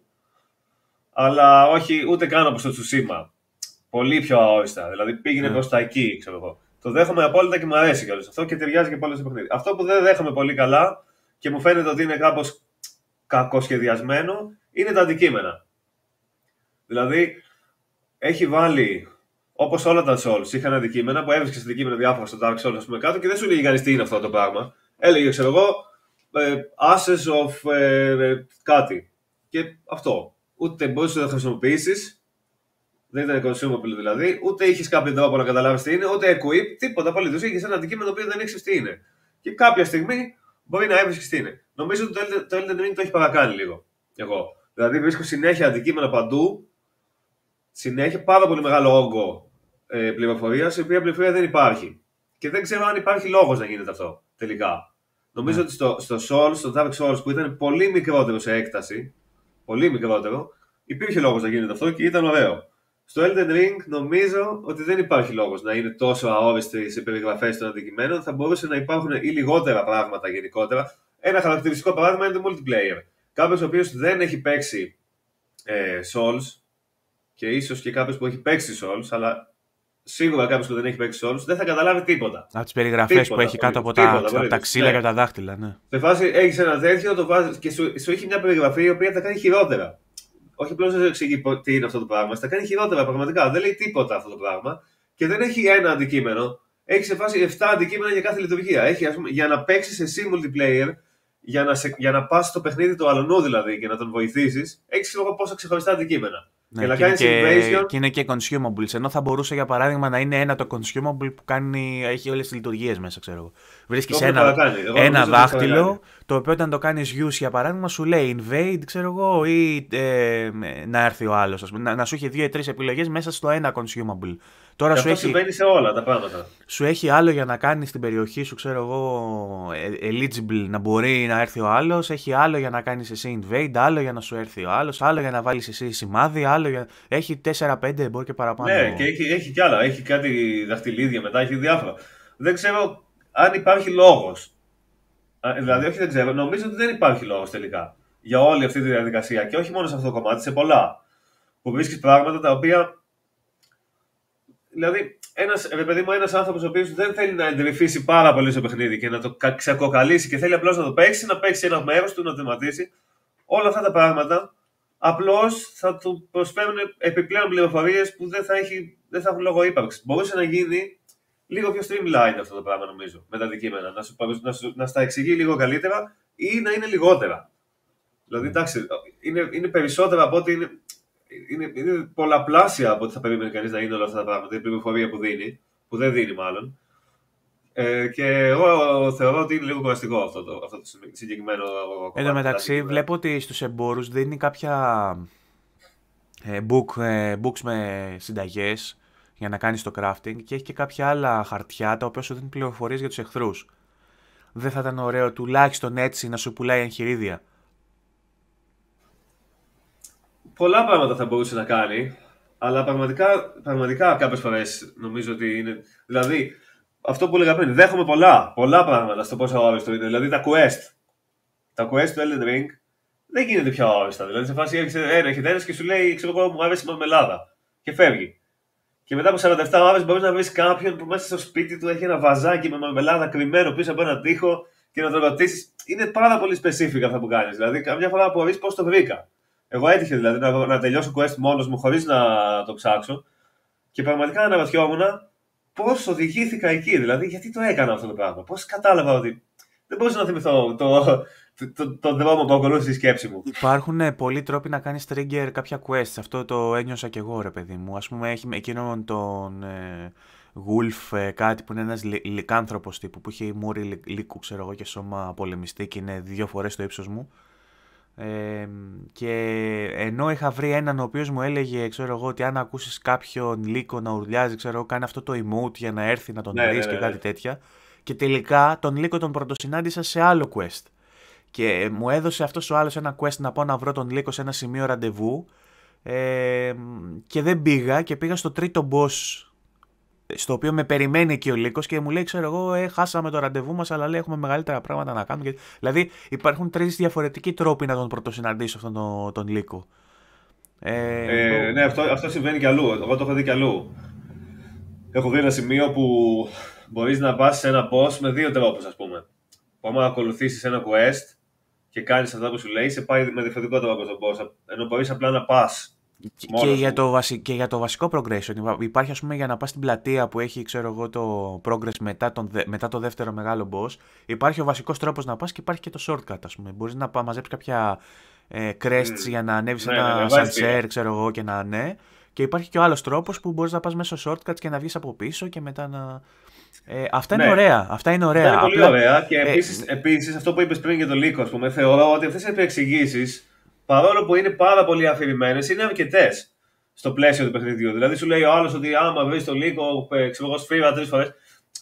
Καταλαβαίνεις περίπου τι είναι αυτό το πράγμα. Και όταν θα έρθει αυτή τη στιγμή που θα χρειαστεί να το κάνεις, περίπου καταλαβαίνεις. Νομίζω ότι είναι αρκετό αυτό το πράγμα. Mm. Αλλά όταν μιλάμε για αυστηρά όρους gameplay, νομίζω ότι δεν τα καταφέρνει εξίσου καλά εγώ να, να σου εξηγήσει όπως θα έπρεπε, όχι να σου εξηγήσει, να σε εξηγήσει ακριβώς, να το κάνει όπω όπως θέλει. Αλλά νομίζω ότι δεν το πετυχαίνει όπως θα έπρεπε στα αντικείμενα και σε όλα αυτά τα πράγματα και σου αφήνει κάποια κενά. Που δεν χρειάζεται να σε αφήνει τέλος πάντων. Θέλω να πω, δεν χρειάζεται. Α πούμε στο Quest είναι ωραίο που σου αφήνει κενό και πρέπει εσύ να συνδέσεις ε, τις τελείες και να καταλάβεις τι εννοεί αυτός και πού να πας. Αλλά στα αντικείμενα δεν είναι και τόσο ωραίο. Είναι, κάποια στιγμή γίνεται απλά κουραστικό. Εγώ θα ήθελα ξέρεις να κάνει, θα ήθελα και νομίζω ότι θα το τέργε και πάρα πολύ το Μιγιαζάκι. Αυτό. Ό,τι έκανε ο Kojima στο Metal Gear Solid. Που σου, σου μιλούσε σπάζοντας τον τέταρτο τοίχο και έλεγε ας πούμε στο Snake, ε, άμα θέλεις να σηκώσεις το όπλο, θα πρέπει να πατήσεις το L2, ξέρω εγώ. Και για να πυροβολήσει. Και τα έλεγε αυτά ξέρω, ο στρατηγός στο Snake που τον εκπαίδευε και του μιλούσε με όρου τέτοιους. Ότι πάτα στο R2. Νομίζω θα μπορούσε να κάνει κάτι παρόμοιο ο Μιγαζάκη. Θα του τέβηκε πάρα πολύ να σπάσει τον τέταρτο τοίχο και να σου, να σου εξηγεί ένας NPC με gameplay, με όρους του gameplay πράγματα. ώστε να καταφέρει και να σου εξηγήσει λίγο παραπάνω και να είναι πάλι weird όπως είναι. Νομίζω θα μπορούσε να κάνει κάτι τέτοιο. Ναι. Ε, εντάξει, είναι, είναι και ο ειδικός τρόπος αυτός, ο ιδιαίτερος μάλλον τρόπος που έχει. Εντάξει, τώρα ιδιαίτερο ή όχι, γίνεται. Η αφήγηση, εγώ όχι, το ξαναλέω αυτό, η αφήγηση και το κομμάτι της εξερεύνησης και των αποστολών στο Elden Ring νομίζω έχει γίνει με τέλειο, με, με τέλειο τρόπο. Αλλά ε, όσο και αν θέλω να πω ότι είναι ιδιαίτερο, όσον αφορά το gameplay του και κάποια στοιχεία, ειδικά τα αντικείμενα και αυτά, νομίζω ότι είναι απλά κοραστικό, χωρίς λόγο. Τελικά. Όταν λες, όταν λες ότι είναι τέλειο, δεν θα ήθελες για παράδειγμα να σου έχει περισσότερα cutscenes. Να μην σου έχει μόνο όταν μπαίνεις ένα boss, ένα cutscene. Αυτό είναι άλλο θέμα, ναι. Αυτό είναι άλλο θέμα. Θα ήθελα να πούμε και το, αυτό. Το εντάσσει στο κομμάτι του presentation, ας πούμε, ότι υπάρχει ιστορία απλά την αφηγούνται διαφορετικά και απλά αυτή. Όχι, εγώ έλεγα τώρα για ένα άλλο κομμάτι απλά. Σε αυτό θα συμφωνώ. Εγώ έλεγα για το κομμάτι του πώς σου εξηγεί, με παιδί μου, στο gameplay μέρος την αποστολή, ας πούμε. Δηλαδή, τι πρέπει να κάνεις; Αυτό. Όχι το πώς θα σου εξηγήσει, πώς θα σου αφηγηθεί τα γεγονότα. Πώς θα σου εξηγήσει τι να κάνεις για να ολοκληρώσεις την αποστολή, πού να πας, ποιο να βρεις. Αυτό το κομμάτι νομίζω ότι το έχει κάνει όπως θα έπρεπε να το κάνει. Ακριβώς. Στο πλαίσιο των Souls εννοώ. Δηλαδή να διατηρήσει αυτή την ταυτότητα του Souls και να το κάνει. Νομίζω ότι το έχει κάνει άψογα αυτό το πράγμα. Όμως, όντως, θα ήθελα Περισσότερη αφήγηση θα ήθελα κι εγώ. Όχι περισσότερη με την έννοια exposition, να σκάει εγώ η Μάρικα αυτή η Μελίνα, όπως τη λένε, και να σου λέει Λοιπόν, άκουσε να δεις τι γίνεται. Εδώ πέρα ήταν κάποτε αυτός, έκανε αυτό και εκείνο και τ' άλλο. Ήταν αυτός, γεννήθηκε εκεί, ο, ο γιος του ήταν αυτός. Όχι αυτό. Απλώς μου λείπει ότι έχει ωραίους διαλόγους, έχει ωραία ατμόσφαιρα, έχει ωραίο σενάριο και ξέρω εγώ συναντάς ένα χαρακτήρα, σου λέει δύο προτάσεις και η επόμενη φορά που θα ακούσεις κάποιον ας πούμε, να σου προχωράει κάπως με κάποιο τρόπο αυτό το πράγμα μπορεί να είναι μετά από 12 ώρες. Ξέρω εγώ. Και OK, okay, δεκτό ότι είναι εξερευνήσει κανείς, θα μπορούσε με κάποιο τρόπο να, να βρουν κάποια λύση. Όχι ασύρματο, όπως είναι στα περισσότερα που μιλάνε μεταξύ τους. Και ενώ περπατάς στο open world, λέει τέτοια ή που έχεις ένα companion, ας πούμε, θα ήταν λίγο χαζό στο συγκεκριμένο παιχνίδι. Αλλά νομίζω ότι θα μπορούσαν κάπως να βρουν μια μέση λύση. Δηλαδή, να μην όταν, ρε παιδί μου, σκάς, όταν σκάς το round table, δεν θα θέλεις να έχεις κάποια cutscenes ας πούμε, που να συζητάνε; Αν όχι cutscenes, να έχει πιο, πιο, πιο ενεργή αφήγηση γενικά. Δηλαδή να, να βρίσκεις πιο συχνά κομμάτια διαλόγου. Πας στο Start of Grace και κάθεσαι και σου έχει επιλογή να μιλήσεις με τη, αυτή τη φιλενάδα σου, ας πούμε, μία φορά κάθε 17 ώρες, ξέρω εγώ. Θα μπορούσε να έχει λίγο περισσότερο, περισσότερο διάλογο, νομίζω, γιατί είναι ωραίο και ο διάλογος. Μου λείπει λίγο αυτό εμένα. Δηλαδή, τυχαίνει να περπατήσω, να εξερευνήσω, να κάνω από εδώ, από εκεί, ξέρω εγώ, και να περάσουν πραγματικά 15 ώρες κυριολεκτικά, στις οποίες 15 ώρες να μην έχω δει ούτε μία γραμμή διαλόγου. Ούτε μισή γραμμή διαλόγου. Ούτε εχθροί μιλάνε, ούτε ο χαρακτήρας σου μιλάει, ούτε εμφανίζεται κάποιος άλλος και έχει τύχει πραγματικά να είναι. Κάποιες φορές αυτό θέλω να πω. Σπάει με τυχαίους NPC. Δηλαδή, ας πούμε, έχει έναν που περπατάς και φωνάζει Ε, εσύ δεν με βλέπεις, γιατί δεν μου μιλάς. Ε, είμαι τόσο άσχημος, θα έχει διαθόν. Ναι, και δεν τον έχω βρει. Σε, σε... Ναι, σε ένα θάμνο είναι. και έχει αυτό, ας πούμε. Και εκεί που περπατά και εξερευνήσεις και έχουν περάσει 7 ώρες και δεν έχεις με τίποτα να σου μιλήσεις, ξαφνικά βλέπεις έναν τύπο στη μέση του πουθενά να σου λέει αυτά τα πράγματα. Αν είχε λίγο περισσότερα τέτοια ή πιο διάσπαρτα, θα μπορούσε ίσως να είναι πιο ομαλή αυτή η αφηγηματική εμπειρία, νομίζω.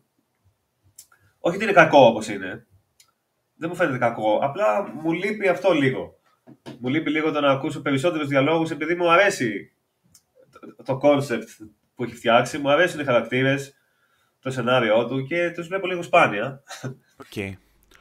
Ε, Τέλος πάντων, μιλήσαμε αρκετά για την αφήγηση. Νομίζω ότι κατάλαβε ο κόσμος για περί τίνος πρόκειται και νομίζω ότι δεν χωράει και μεγαλύτερη ανάλυση γιατί είναι ξεκάθαρο το πλάνο του Μιγιαζάκι. Δηλαδή, σου λέει ότι ρε παιδί μου, έτσι φτιάχνω παιχνίδια. Έχω κάνει κάποιες αλλαγές στο Elden Ring μικρές, ανεπαίσθητες, αλλά αυτό αυτός είναι ο τρόπος που κάνω την αφήγηση. Είτε σ' αρέσει είτε όχι, αυτός είναι ε, εγώ το βρίσκω σε ένα ευχάριστο διάλειμμα σε σχέση με τα υπόλοιπα τα συμβατικά παιχνίδια που παίζω συνήθως, ρε παιδί μου. Δεν θα μπορούσα όλα μου τα παιχνίδια να είναι έτσι. Δηλαδή, νομίζω ότι συνολικά το Elden Ring το βλέπω σε ένα ευχάριστο ευχάριστο σχετικά εντός πολλών εισαγωγικών. Ένα διάλειμμα ε, από το mainstream gaming ας πούμε, που συνήθως παίζω και απολαμβάνω και προτιμώ. Δεν ξέρω αν θα ε, αν είχα την επιλογή να κάνω περισσότερα παιχνίδια στο Elden Ring, αν θα την ήθελα. Ή αν απλά θα ήθελα το Elden Ring και το κάθε Soul Game να είναι ένα διάλειμμα μια φορά στα ένα-δύο χρόνια να παίζω ένα τέτοιο παιχνίδι. Απλά για να σπάει λίγο η ρουτίνα, κατάλαβες. Ε, και αυτό ούτε, έχει... ούτε εγώ θα έπαιζα κάθε μέρα Elden Ring. Ναι, ούτε ναι, ναι, ναι, δεν, ούτε δεν χρόνο έχω, ούτε το ψυχικό σθένος να κάτσω να ασχοληθώ με ένα τέτοιο παιχνίδι κάθε, κάθε εβδομάδα, ρε παιδί μου. Ναι. Κάθε ένα το μήνα. Δεν θα μπορούσα, όχι. Και το ίδιο ισχύει με όλα αυτά τα hardcore παιχνίδια, ρε παιδί μου. Τύπου Returnal. Ξέρω, άμα σου δίνανε ναι. Returnal, θα παίζει κάθε μήνα ένα Returnal; Όχι, όχι. όχι. όχι. Θέλω όταν παίζω τέτοιο παιχνίδι να είναι μια συγκεκριμένη περίοδος που έχω όρεξη να το κάψω και να ασχοληθώ με αυτό το παιχνίδι μόνο ας πούμε, για μεγάλο διάστημα και τέτοια. Όχι να έχω ας πούμε, ταυτόχρονα 5-6 και τέτοια φάση. Δηλαδή, Πάντως, μιας και μιλάμε για δυσκολία, είναι το επόμενο θέμα στο οποίο θέλουμε ναι, να σταθούμε. γιατί το, το, πιο σημαντικό το, το, το προλόγησες κιόλας και είπες για το Sekiro και ότι θα σου πω μετά, ξέρω εγώ πώς συγκρίνεται και όλα αυτά. Εμένα αυτό που μου κάνει μεγάλη εντύπωση είναι ότι βλέπω πολλούς πιο παλιούς στο, στα Souls Games με μεγαλύτερη εμπειρία από μένα να δυσκολεύονται και να λένε πω πω ρε παιδί μου αυτός ο Godrick, αυτός ο, ε, ο άλλος ο πρώτος πρώτος δεν θυμάμαι πώς τον λένε ε, Μάρτζιτ πώς λέγεται Κάπως μου έτσι λέγεται. Ναι. Δεν θυμάμαι. Ναι. Ότι είναι δύσκολος, ότι εγώ τα παράτησα, έπαιζα 20 ώρες και δεν γίνεται να παίζω 20 ώρες και να μπορώ να τον περάσω και είναι παράλογα δύσκολο και όλα αυτά. Και εγώ να το έχω περάσει βούτυρο και να λέω ρε φίλε. Κλασικό θέμα. Ναι. Στα όλους. Κλασικό θέμα αυτό. Ότι παίζεις σε ένα boss και λες αυτό ήταν όλο. Ναι. Σου λένε οι άλλοι απίστευτα δύσκολο. Πας στο επόμενο, δεν μπορείς να το περάσεις με τίποτα και σου λέει αυτός που σου έλεγε στο προηγούμενο ότι ήταν πανδύσκολο, ότι πλάτο μου κάνει. Δεν το έβγαλα. Κλασικό θέμα σε όλους. Ναι, δεν μπορώ να πω σε κάποιον ότι το έβγαλα με την πρώτη. Απλά δεν μπορώ μέχρι στιγμής να πω ότι έχω δυσκολευτεί όσο είχα δυσκολευτεί στο Bloodborne και το παράτησα. Όσο είχα δυσκολευτεί στα μέσα του Sekiro και τα παράτησα. Ε, δεν ξέρω αν έχει να κάνει με το mindset και με το πώς είμαι τώρα αυτή την περίοδο ψυχολογικά ας πούμε, και τι αποθέματα έχω. Πάντως αυτή την απελπισία που μου είχε δημιουργήσει και το Sekiro και το Bloodborne και γενικότερα τα Souls Games, αυτό που μου δημιουργούσαν αυτό το αρνητικό συνέστημα που με έκαναν να τα παρατάω, το Elden Ring δεν μου το έχει προκαλέσει ακόμα. Ε, έχω βρεθεί σε σημεία που λέω ότι α, δεν είμαι αρκετά καλός για εδώ, ας πούμε. Ε, Όμως ακριβώς λόγω της φύσης του με το fast traveling και με το ότι μπορείς να κάνεις πολλά quests ταυτόχρονα σε τελείως διαφορετικά σημεία. Ε, Πολλές διαφορετικές προσεγγίσεις. Σου δίνεται πολύ πιο εύκολα η, η δυνατότητα να κάνεις respect από ένα σημείο και μετά. Όλα αυτά ε, μου το έχουν κάνει πιο εύκολο. Είναι ένας έμεσος τρόπος για quality of life, δηλαδή ότι του λείπει από τα πασίδηλα και πασιφανή πράγματα του ε, quest log και του journal και, του, και των άλλων ευκολιών ας πούμε στο gameplay ε, το αναπληρώνει δίνοντάς σου ας πούμε αυτό το fast travel και αυτό το, τη δυνατότητα να παίξεις με μια διαφορετική προσέγγιση. Θεωρώ δηλαδή ότι αν κάποιος έχει τη διάθεση να κάτσει να γκριντάρει, έχει τη διάθεση να κάτσει να αφιερώσει χρόνο στην εξερεύνηση ώστε να βρει κάποιο όπλο ή κάποια άλλη μέθοδο για να προσεγγίσει τη μάχη. Αν κάποιος δώσει αυτόν τον χρόνο, θα βρει την άκρη του. Και νιώθω ότι με τα άλλα Souls δεν είναι τόσο εύκολο αυτό και τόσο απλό. Μπορείς δηλαδή να βρεθείς σε μια λούπα που απλά χάνεις και σηκώνεσαι και χάνεις και σηκώνεσαι και δεν ξέρεις τι να κάνεις για αρκετό χρόνο που θα σε κάνει να το παρατήσεις. Ενώ στο Elden Ring δεν υπάρχει αυτό. Έτσι το βλέπω εγώ. Συμφωνείς εσύ; Ναι, Συμφωνώ και επίσης ε, είναι και πολλά πράγματα που κάνει το Elden Ring διαφορετικά και καλύτερα και από τα άλλα παιχνίδια αλλά και από τα Souls. Α πούμε, το Elden Ring νομίζω είναι από τα καλύτερα παραδείγματα κλιμάκωσης της δυσκολίας που έχω δει. Δηλαδή, ξεκινάς το παιχνίδι, σου δείχνει από την αρχή κάτι δύσκολο. Δηλαδή, βγαίνεις έξω στον κόσμο και σου πετάει εκείνον τον υπότι που είναι στον δρόμο. Άμα δεν ξέρεις να παίζεις Souls και Elden Ring και τέτοια πράγματα, δεν παίζει να, το, να καταφέρεις να πολεμήσεις αυτό το πράγμα. Δεν υπάρχει περίπτωση. Θα σε σκοτώσει, όχι απλά θα σε σκοτώσει γρήγορα, θα θεωρήσεις ότι αυτό είναι αδύνατον να τον νικήσει αυτή τη στιγμή. Αδύνατον, όχι δύσκολο, και θα φύγεις απλά. Και μετά βλέπεις έναν κόσμο ο οποίος είναι χωρισμένος με έναν τρόπο που στην αρχή είναι γεμάτο checkpoint, ας πούμε. Δηλαδή είναι τόσο, τόσο κοντά το ένα από το άλλο το checkpoint που βλέπεις ένα checkpoint εδώ που είσαι και το άλλο το βλέπεις με τα μάτια σου, ξέρω εγώ. Είναι πιο πέρα, φαίνεται και ενδιάμεσα έχει μία πρόκληση. Ένα πράγμα. Σε φάση ένα camp με εχθρούς. Και μετά επόμενο checkpoint. Άρα σε οδηγεί με έναν τρόπο στην αρχή. Κατα... Δηλαδή, καταλαβαίνεις πώς να παίξεις. Είσαι στο checkpoint, έχεις τους εχθρούς απέναντι. Βλέπεις που πρέπει να πας, είναι κοντά το επόμενο checkpoint. Αλλά όσο και να χάσεις, δεν είναι απελπιστικό. Δεν είναι ότι έχει ένα checkpoint εδώ και το επόμενο είναι μετά από τρία μποντρούμια και 7 βάλτους. Οπότε στην αρχή είναι λίγο πιο ομαλό το πώς σε βάζει μέσα στον κόσμο. Και επίσης η δυσκολία στο open world, νομίζω, ε, βοηθάει πάρα πολύ, γιατί επειδή ακριβώς είναι δύσκολο και δεν είσαι ποτέ σε φάση όπως το Horizon, τρέχω ευθεία και πάμε και προχωράς προσεκτικά, βλέπεις τους εχθρούς, παρατηρείς τις κινήσεις τους, τελικά καταλήγει, εγώ ας πούμε αυτή τη στιγμή στο Elden Ring, άμα μου δείξει το χάρτη, και μου δείξει ένα σημείο του χάρτη, μπορώ να σου πω ακριβώς τι έχει εκεί. Ακριβώς τι έχει. Πού είναι τα, τα μπουντρούμια, πού είναι τα ερήπια, πού είναι ο εχθρός και τι τύπου εχθρός είναι, πού είναι όλοι οι εχθροί. Ξέρω ακριβώς όλο το χάρτη, όλον όμως. Όσο έχω εξερευνήσει. Αυτό έχει να κάνει περισσότερο με το game design και έχει να κάνει ναι. περισσότερο με το ότι προσπαθείς πραγματικά όταν παίζεις. Ενώ με άλλα παιχνίδια απλά προσπερνάς, ρε παιδί μου. Τα... Αυτό λέω ότι επειδή είναι δύσκολο, στον ανοιχτό κόσμο, επειδή είναι δύσκολο το παιχνίδι, προσέχεις τι συμβαίνει.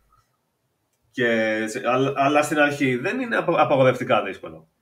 Δηλαδή δεν υπάρχει ένα μέρος που να μην μπορείς να πας στο επόμενο. Είναι πάρα πολύ μικρά οι αποστάσεις στα checkpoint στην αρχή και σε, ενώ πιο μετά, όσο προχωράει, δεν είναι ακριβώς έτσι. Δηλαδή και είναι και όντως πιο δύσκολο στην πορεία και οι εχθροί είναι πολύ πιο δύσκολοι και η εξερεύνηση είναι πολύ πιο δύσκολη. Ο πρώτος κόσμος, ας πούμε, στο Elden Ring δεν έχει κάτι παράξενο είναι μια παιδιάδα με μπουντρούμια, με μνημεία, με στο, βασι... στο βασικό του κομμάτι τουλάχιστον, γιατί έχει και μυστικά τα οποία ήταν ναι, ναι, ναι, ναι. Ενώ κάποιος ο οποίος θα παίξει, παιδί μου, για να πάει εδώ εκεί. Απλά δεν έχει κάτι παράξενο. Μετά δεν είναι έτσι όμως η Μετά έχει αυτά το, με τον αέρα που σε ανεβάζει πάνω με το άλογο. Έχει χαράδρες. έχει κενά, έχει ποτάμια, έχει τέτοια. Και πρέπει να ασχοληθείς περισσότερο με το πώς θα πας από το ένα σημείο στο άλλο. Δηλαδή, βλέπεις που πρέπει να πας, αλλά για να πας εκεί μπορεί να χρειαστεί να κάνεις μία πατέντα. Ενώ στην αρχή δεν έχεις. Στην αρχή είναι πάρα πολύ απλό. Είναι μια εκκλησία, μία κατηφόρα, επόμενος checkpoint. Ένα δάσος, επόμενος checkpoint. Και σε οδηγεί με πολύ καλό τρόπο έτσι. Και επίσης αυτό που έλεγες για την απελπισία, ε, με κάνει να λέω ότι το Elden Ring είναι το πιο εύκολο παιχνίδι της From. Από όλα μέχρι στιγμής. Όχι επειδή είναι εύκολο με την έννοια ότι βλέπεις ένα boss και λες σιγά. Πανεύκολα ήταν. Είναι δύσκολα τα. Οι προκλήσει που σου βάζει είναι δύσκολες, όντως. Έχει δηλαδή δύσκολα dungeon, έχει δύσκολους εχθρούς, δύσκολα bosses. Όμως είναι απίστευτα απελευθερωτικό να είσαι σε ένα boss, να έχεις κολλήσει στον boss και να μπορείς με το πάτημα ενός κουμπιού να πας σε άλλο μέρος και μετά σε άλλο και μετά σε άλλο. Και όχι να πρέπει να πας με τα πόδια, να εξερευνήσεις, να βρεις πού να πας, τι να κάνεις. Μπορείς απλά να φύγεις με ένα fast travel και να πας αλλού και να εξερευνήσεις ένα άλλο μέρος για ώρες. Μετά να πας σε άλλο μέρος, σε άλλο μέρος. Έχεις απίστευτα πολλές επιλογές. Σε save επιτόπου, ας πούμε, όπου θες να το παρατήσεις. Απλά ναι, δεν, δεν σε περιορίζει με την έννοια ότι κόλλησες στον boss. Sorry, φιλαράκι, θα κάτσεις εδώ μέχρι να το νικήσεις. Δεν έχει άλλο το παιχνίδι. Δεν υπάρχει Αλλιώς άλλο. θα κάνεις new, κάνεις new game και θα το χτίσεις καλύτερα ναι. την επόμενη φορά. Θυμάμαι δηλαδή το Sekiro, ας πούμε, το οποίο για μένα είναι το πιο δύσκολο παιχνίδι της εταιρείας. Για μένα, γιατί μου είχε προκαλέσει πραγματική απελπισία σε κάποιες στιγμές. Δηλαδή ήμουνα στο... σε boss και με δυσκόλευε πολύ το boss δηλαδή. Όπως συμβαίνει σε όλα τα souls, κάποια τα περνάς εύκολα, κάποια... έχει να κάνει με το πώς παίζεις μάλλον. Πού είσαι καλύτερος, πού δίνεις βάση. Οπότε όταν το boss είναι καλύτερο στα σημεία που είσαι χειρότερος, βρίσκεις θέμα. Και θέλω να είμαι σε ένα boss και να παίζω ώρες συνεχόμενα και να μην μπορώ να το περάσω. Αλλά το παιχνίδι εκείνη τη στιγμή είχε κλειδώσει για σένα. Δεν μπορούσες να παίξεις Sekiro μέχρι να κερδίσεις αυτό το boss. Και δηλαδή γύρω από τη δουλειά, ας πούμε, και έλεγα να παίξω λίγο Sekiro. Δεν θέλω. Ενώ στο Elden Ring, ακόμα και αν το λύσει, μπορείς να βρεις πάρα πολλά πράγματα. Η μία περιοχή μόνο έχει τόσα μυστικά και, τόσα... και πολλά από αυτά σε βοηθάνε κιόλας ε, πρακτικά. Ξέρεις έχουν, ε, ε, και ενδιαφέρον, δεν είναι ρε παιδί μου ποιοτικά υποδέστερα. Δηλαδή δεν καταλαβαίνεις πότε ακολουθείς ένα main quest line και πότε ακολουθείς ξέρω, ένα side. Με αποτέλεσμα όταν κάπου πήξεις να πεις ok, δεν, σήμερα δεν έχω καθαρό μυαλό ας πούμε, για να παίξω ένα boss. Ε, θα κάνω fast travel σε μια τελείως διαφορετική περιοχή και απλά θα φαρμάρω λίγο και θα ψάξω να δω τι έχει εκεί. Ε, και αυτός ο χρόνος είναι ποιοτικός χρόνος. Δηλαδή και ωραία θα περάσεις και μπορεί όντως να δυναμώσεις και να σε βοηθήσει μετά. Και μπορεί ναι, να ναι. βρεις και κάποιο item το οποίο είναι πολύ μεγάλη σημασία και το έχεις παραμελήσει εντελώς. Ε, έχει values ε, παιχνιδιού πολύ ψηλά. Αυτό ε, το, το υπογραμμίζουμε και το επαναφέρουμε στην κουβέντα συνέχεια γιατί είναι το main πράγμα, το βασικό πράγμα το, στο οποίο ε, διαπρέπει το παιχνίδι και αν πρέπει να μιλήσουμε για θετικά και να μην μιλήσουμε για γραφικά και για τεχνικά και για όλα αυτά που εντάξει στα podcast τα έχουμε, τα, το έχουμε σχεδόν κουράσει το θέμα με το πόσο φορές τα έχουμε αναφέρει. Ε, αν πρέπει να μιλήσουμε για θετικά, νομίζω ότι αυτά τα gameplay values είναι που πρέπει να, να τους πλέξουμε λίγο το εγκόμιο και σε αυτά, να μην είναι παραμονεμένα, ρε παιδί μου. Ναι, ναι, ναι, σίγουρα, σίγουρα είναι αυτό το πράγμα. Ότι δηλαδή κάθε στιγμή του παιχνιδιού κάθε στιγμή του παιχνιδιού που παίζεις ε, είναι ποιοτικό χρόνος, ακόμα και αν είναι δύσκολο. Γιατί δεν θα κολλήσεις και θα πεις θα παίξω τον boss για 7 ώρες. Σε ρί, 7 ώρες συνεχόμενα, ξανά και ξανά το ίδιο πράγμα. Θα φύγεις, θα πας αλλού, θα βρεις άλλο boss. Θα βρεις ένα mini boss που σου δίνει μια, ένα skill. Α πούμε, εγώ έχει τύχει δηλαδή να πάω αλλού και να βρω πράγματα τα οποία ήταν σε τελείως random σημεία που δεν είχαν τίποτα να σε οδηγήσει εκεί και αυτά τα πράγματα να τα χρησιμοποιώ μετά από εκεί και πέρα μόνιμα και να είναι από τα πιο χρήσιμα εργαλεία που έχω, ξέρω εγώ, και να με βοηθήσουν να περάσω τον boss και τέτοια. Έχει πάρα πολλά τέτοια. Δεν είναι δύσκολο με την έννοια αυτή του Soul. Είναι δύσκολο παιχνίδι, αλλά δεν είναι δύσκολο με εκείνη την έννοια που ήταν το Dark Souls το 1, που κατέβαινε σαν ένα ποντρούμι πάνω κάτω στο, στο λάκκο με τα κολοδάχτυλα και έβλεπες μέσα σκελετούς, ε, τέτοια μέχρι εκεί που φτάνει το μάτι σου. Δεν μπορούσες να φανταστείς καν που είναι το επόμενο checkpoint έπρεπε να κατέβεις στα σκοτεινά κάτω μέσα, να, να περάσεις από εδώ από εκεί. Και έφτανες στο checkpoint και έλεγες, έκανες το σταυρό σου, ξέρω εγώ, επιτέλους έκανες τετάματα και τέτοια, επειδή κατάφερα να φτάσω στο επόμενο checkpoint. Εδώ δεν είναι έτσι. Ούτε σαν το Sekiro είναι, είναι που ήταν λίγο πιο μάχη, checkpoint. Μάχη, checkpoint. Σου είχε πολλές επιλογές. Βασικά αυτό έπρεπε να κάνει πάντα για να λύσει το θέμα της δυσκολίας, νομίζω. έτσι το λύνει σε ένα μεγάλο βαθμό, σου δίνει επιλογές. Δηλαδή δυσκολεύεσαι, αλλά δεν απελπίζεσαι. Δεν λες, δεν αντέχω άλλο να παίξω. Δεν θέλω να παίξω, ρε παιδί μου. Δεν θέλω να το βάλω, δεν μπορώ. Θες τι, νομίζω ότι σου κάνει, σου κάνει πιο εύκολο λίγο το παράθυρο, αυτή, αυτό το διάστημα μάλλον, μεταξύ του, της έναρξης και του σημείου που είσαι σε, έχεις ρε παιδί μου τα εργαλεία ώστε να το σπάσεις το παιχνίδι και να γίνεις overpowered. Ναι. Ε, είναι, είναι το διάστημα μεταξύ του οποίου οι, οι λίγο πιο softcore και λίγο πιο μπουνταλάδες και λούλιδες από εμάς εγκαταλείπουμε τα παιχνίδια της From Software. Και εφόσον μας κάνει, μας δίνει αυτό το, μας κάνει λίγο πιο empowered ε, στις αρχικές ώρες του παιχνιδιού και μας δίνει τα εργαλεία ώστε να την παλέψουμε, μετά έχοντας γνωρίσει την ομορφιά του, του παιχνιδιού, έχοντας λόγους να μας κρατήσει πίσω και ε, δίνοντάς μας και τα μέσα, αν έχουμε τον χρόνο να διαθέσουμε, να τον κάνουμε overpowered τον χαρακτήρα μας και να μην κολλάμε πουθενά, ε, το κάνει eventually και τελικά πιο εύκολο από όλα τα υπόλοιπα παιχνίδια και πιο φιλόξενο. Τελικά. Είναι, πιο, είναι σίγουρα πιο φιλικό. Είναι σίγουρα πιο φιλικό από τα άλλα. Ε, και, αυτή, και αυτή είναι και δική μου η άποψη. Ότι ε, εν τέλει, all things considered, με τα πάντα, ε, ε, ε έχοντας υπόψη τα πάντα, ε, είναι όντως το πιο εύκολο τελικά παιχνίδι της From Software που πολλοί διαφωνούν και οι, οι κύριες διαφωνίες έρχονται από άτομα που παίζουν Souls και αυτό μου κάνει μεγάλη εντύπωση. Πάντα αυτό συμβαίνει με αυτή τη σειρά όμως. Πάντα αυτό συμβαίνει. Δηλαδή, άμα μιλήσεις με 10 άτομα που παίζουν πάρα πολύ σε όλους και τους ρωτήσει ποιο είναι το πιο δύσκολο σε όλους, θα σου πούνε άλλο, ξέρω εγώ ο καθένας. Ποιο είναι το πιο δύσκολο boss, ο καθένας θα σου πει άλλο. Σου λέω, εγώ θυμάμαι στο Σέκυρο, ας πούμε, που δεν μπορούσα να κερδίσω ένα boss. Δεν μπορούσα, δηλαδή θεωρούσα ότι δεν θα τα καταφέρω ποτέ. Είχα απελπιστεί τόσο πολύ και μου έλεγε ο άλλος, Καλά, αυτό. Πάνω εύκολο ήταν, ήταν πιο εύκολο boss του παιχνιδιού. Και του έλεγα, Ποιος σε δυσκόλεψε εσένα, μου έλεγε ένα άλλο. Και εγώ εκείνο που μου, δυσκόλεψε αυτό το είχα βγάλει σε τρεις προσπάθειες, λόγω έτσι στην τύχη, παιδί μου, τέτοια φάση. Πάντα έτσι γίνεται. Είναι μάλλον έχει να κάνει με το κάθε παίκτης σε τι είναι καλός, τι τον δυσκολεύει πιο πολύ, ας πούμε, γιατί δεν σε δυσκολεύουν τα ίδια πράγματα όλους. Και πώς παίζεις επίσης έχει σημασία, γιατί ας πούμε στο Elden Ring ε, το κάθε boss είναι διαφορετικό. Κάποιο boss μπορεί να κάνει ας πούμε, magic damage και εσύ να μην έχεις build που να ακυρώνει το magic damage ή να, είναι πιο, να κινείται πιο γρήγορα και εσύ να είσαι πιο αργός. Οπότε να δυσκολευτείς περισσότερο. Και είναι και τα builds που παίζουν μεγάλο ρόλο στο Elden Ring. Είναι πάρα πολύ διαφορετικά μεταξύ τους τα builds. Δηλαδή έχει όπλα που σου αλλάζει το gameplay εντελώς άμα τα χρησιμοποιήσει. Ναι, ναι, ναι. Για να τα χρησιμοποιήσεις πρέπει να έχει.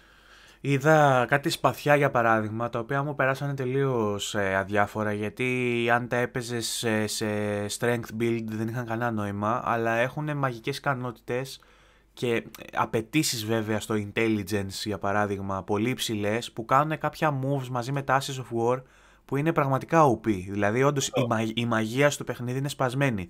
Απλά για να παίξεις μαγεία build θέλει να είσαι λίγο πιο έμπειρος, ρε παιδί μου. Δεν γίνεται να. Και ενώ με όσα ακούγαμε και διαβάζαμε για το παιχνίδι και είχαμε δει και από τα beta και από τα tech demos και από όλα αυτά, ξέραμε ήδη ότι ρε παιδί μου αν παίξεις με, με τα arcane, με τα, το, με τα incantations δηλαδή και με τα sorceries, ε, συνδυαστικά με τα Ashes of War, όλα αυτά μαζί το κάνουν το παιχνίδι OP, δηλαδή το σπάς, γίνεσαι πάρα πολύ δυνατός. Το θέμα είναι ότι δεν είναι εύκολο για έναν αρχάριο να το προσεγγίσει αυτό το είδος παιχνιδιού και για τον δεν ίδιο λόγο, για να μην το παρατήσω, ενώ έλεγα αρχικά ότι και εγώ θέλω να πάω να παίξω Magic γιατί φαίνεται πάρα πολύ cool, ξέρω εγώ, και πρέπει να το κάνει πολύ πιο εύκολο το παιχνίδι. Φοβο, Φοβόμενος ότι δεν θα τα καταφέρω, τελικά έπαιξα το συμβατικό το build με strength, endurance και λίγο dexterity, ας πούμε. Αυτό είναι πιο εύκολο να παίξεις, Μωρέ, εντάξει. Μια σπίδα, ας πούμε, και ένα βαρύ armor. ε, μπορεί να είναι, να είναι πιο αδύναμο σε σχέση με τα super ξόρια, αλλά σου κάνει πιο εύκολο το gameplay κάθε δεδομένη στιγμή. Ότι αμήνεσαι, είναι πιο, πιο εύκολα Νομίζω πράγματα. το κάνει πιο εύκολο στο γενικό παιχνίδι. Όταν παίζεις με τα μομπάκια. Στα boss είναι πιο δύσκολο. Γιατί πρέπει να πολεμάς εκ του εγγύης, πρέπει να είσαι κοντά του, ας πούμε, για να βαρέσεις. Ναι. Και επειδή τρελαίνονται λίγο, άλλο ένα θέμα με τα Souls παιχνίδια και με χαρακτηριστικό του Μιαζάκη, τα boss fights απίστευτα εννοείται. Πολύ πλούσιο animation, πάρα πολλοί τρόποι να σε χτυπάνε, πάρα πολύ agile, πολύ γρήγορα. Δηλαδή βλέπεις κάτι τέρατα τεραστίων διαστάσεων, τόνων, ξέρω εγώ, θε, θεόρατα και κουνιούνται λες και είναι πούπουλο. Και αυτό το κάνει πολύ πιο δύσκολο το παιχνίδι γιατί αν είσαι κοντά τους έχουν τόσους πολλούς τρόπους να σε χτυπήσουν που αν δεν έχεις ρε παιδί μου απίστευτα ψηλά το vigor και απίστευτα καλό armor, θα σε ρίξει μετά από λίγο. Δεν γίνεται. Δηλαδή, εγώ τώρα έχω φτάσει σε ένα σημείο να έχω πάρα πολύ καλό endurance. Είμαι γύρω στα 55-56 level, κάπου εκεί. Ε, έχω βάλει κάτι, μετα... κάτι μεταγιόν, έτσι, κάτι talisman και κάτι τέτοια που μου ανεβάζουν στατιστικά. Οπότε είμαι ακόμα πιο πάνω από εκεί που θα έπρεπε να είμαι για 55 level. Ε, έχω τεράστιο endurance για παράδειγμα. Παίζω με βαριά ασπίδα και λέω εντάξει, μπορώ να αντέξω κάποια χτυπήματα. Και είμαι στο τρίτο boss, το οποίο τρίτο boss εκτός από πολύ δυνατά χτυπήματα, κάνει και πάρα πολλά συνεχόμενα. Και το endurance που έχω, αν και πάρα πολύ μεγάλο, δεν μου αρκεί για να μπλοκάρω τα χτυπήματά του. Πρέπει να κάνω και dodge, αλλά επειδή ακριβώς έχει πολλά διαφορετικά patterns στον τύπο, στον τύπο χτυπημάτων που κάνει, άλλα τα βαράει κάθετα, άλλα οριζόντια, άλλα διαγώνια, μπορεί να με βρει παντού. Αν δεν μάθω τέλεια το pattern που βαράει για να κάνω dodge, την έφαγα. Και άμα τη φάω, έχασα. Καταλαβες, δηλαδή ε, από κοντά είναι πολύ πιο δύσκολο ε, αργότερα στο παιχνίδι, ενώ αν έχεις ε, αναπτύξει τα, και τα Ashes of War και τα Incantations και τα Sorceries, μπορείς από μακριά να του κάνεις απίστευτη ζημιά. Διαφορετικά, παίζοντας με melee build, πρέπει να έχεις εντρυφήσει πάρα πολύ στα affinities. Για, καλά, για όσους δεν παίζουν τώρα Souls και δεν έχουν το παιχνίδι, αυτά όλα ακούγονται κινέζικα, αλλά έχει ε, ε, επενδύσει πάρα πολλά και έχει βάλει λειτουργίες πολλές ε, σε αυτό που λέω εγώ affinities ε, είναι κάποια effect που μπορείς να εφαρμόσεις στον αντίπαλο και κάνει τρομερή ζημιά όπως για παράδειγμα το bleeding effect ναι, ναι. και υπάρχουν κάποια builds ας πούμε, που κάνεις, κάνεις όπλο το οποίο κάνει bleeding effect και του βάζεις και Ash of War που κάνει extra bleeding effect και βλέπεις να φεύγει τώρα σε ένα boss του οποίο εγώ μπορώ να το βαρώ ένα τέταρτο και να πέφτει ε, ξέρω, 5% η ζωή του κάθε φορά, να το βγάλεις με 4-5 χτυπήματα επειδή το έκανες bleed effect και ήταν τα, το ένα χτύπημα μετά το άλλο.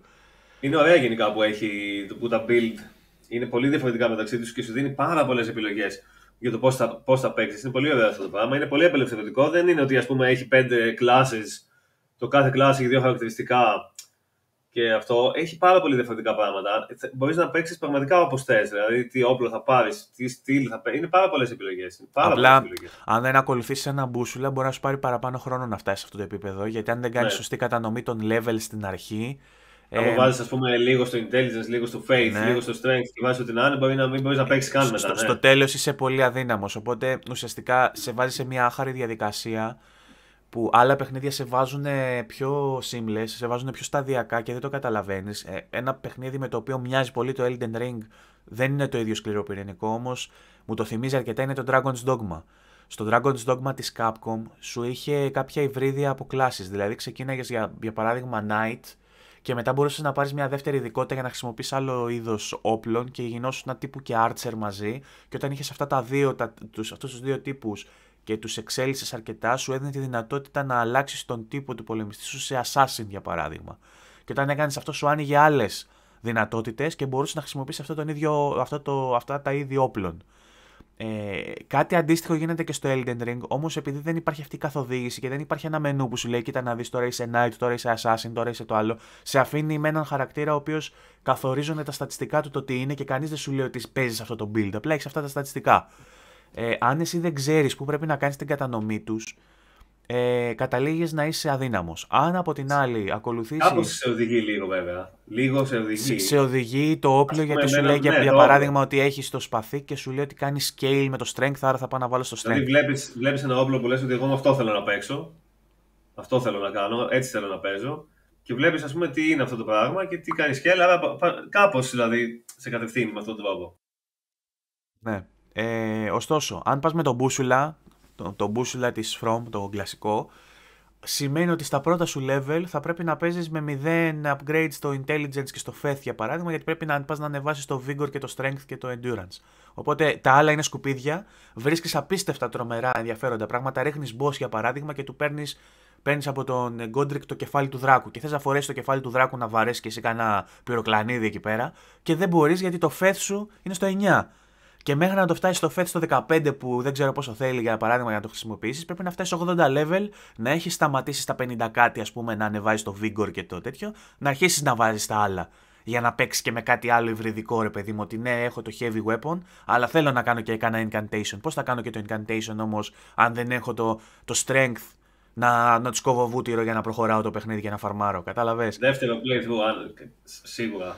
Αυτό θέλει μόνο. Αυτό το λέω και εγώ, ότι θα ήθελα να κάνω και ένα δεύτερο κάποια στιγμή να παίξω Magic. Απλά ενδεχομένως αυτό θα το κάνω σε αρκετό, αρκετό καιρό, να έχει πάρει update στο παιχνίδι, να έχει φτιαχτεί, σε όσα, σε όσα πράγματα δεν έχει φτιαχτεί, να έχουν βγει τα mod στο PC που θα το κάνουν πιο όμορφο. Δηλαδή το δεύτερο playthrough θα γίνει hashtag όπως πρέπει, ρε παιδί μου. Το Εντάξει, βέβαια είναι... θα είναι και πιο εύκολο το δεύτερο. Ε, ναι, γιατί, θα, δηλαδή- γιατί έχω κάνει ήδη λάθη. Ρε. Έχω κάνει ήδη λάθη. Ναι, αλλά, ναι. Να σου πω κάτι. Πού να πας, ξέρεις τι να κάνεις. Μπήκανε πολύ και στο podcast, ρε παιδί μου, και μου λένε κάνεις αυτό ας πούμε λάθος και θα έπρεπε ας πούμε, να έχεις κάνει level up αυτό και παίξε έτσι Έλα, και κάνει το άλλο. Ε, Καταρχάς αυτό δεν μου αρέσει γιατί δεν θέλω να παίζω τόσο πολύ με το. Μα καταρχάς, άμα το πάμε έτσι, δεν έχει καν νόημα αυτή η κυκλοφορία. Γιατί αυτό είναι ένα παιχνίδι το οποίο υποτίθεται ότι ανταμείβει την, την εξερεύνηση και την ανακάλυψη. Άμα μου πει ο άλλος. Παίξε... ναι. ναι, άμα μου πει άλλος παίξε με αυτό το όπλο που θα βρεις εκεί και βάλε level εκεί και θα τους κόβεις. Δεν έχει νόημα το παιχνίδι. Δεν έχει νόημα το παιχνίδι. Το παιχνίδι αυτό έχει νόημα να κάτσεις να πας, να φας τα μούτρα σου, να δεις τι σ' αρέσει εσένα τι σ' αρέσει να παίζεις, πώς σ' αρέσει να το παίζεις, σε τι είσαι καλός και να επενδύσεις εκεί, να ψάξεις. Πάντως, δίνει για κάποιον που βαριέται να το παίξει δεύτερη φορά να πούμε ότι είναι πολύ πιο εύκολο να κάνεις respect. Πολύ δηλαδή ναι. να, να δώσεις τα level σου όλα πίσω και να σου τα ξαναδώσει να τα, σε ρούνους και να, να ξαναεπενδύσεις σε διαφορετικά level. Που σημαίνει ότι μέχρι τη μέση περίπου του παιχνιδιού μπορείς να παίζεις εσύ ως knight και να αποφασίσεις ότι εγώ δεν το θέλω αυτό. Θα πάω να παίξω τώρα ω μάγος, ω sorcerer.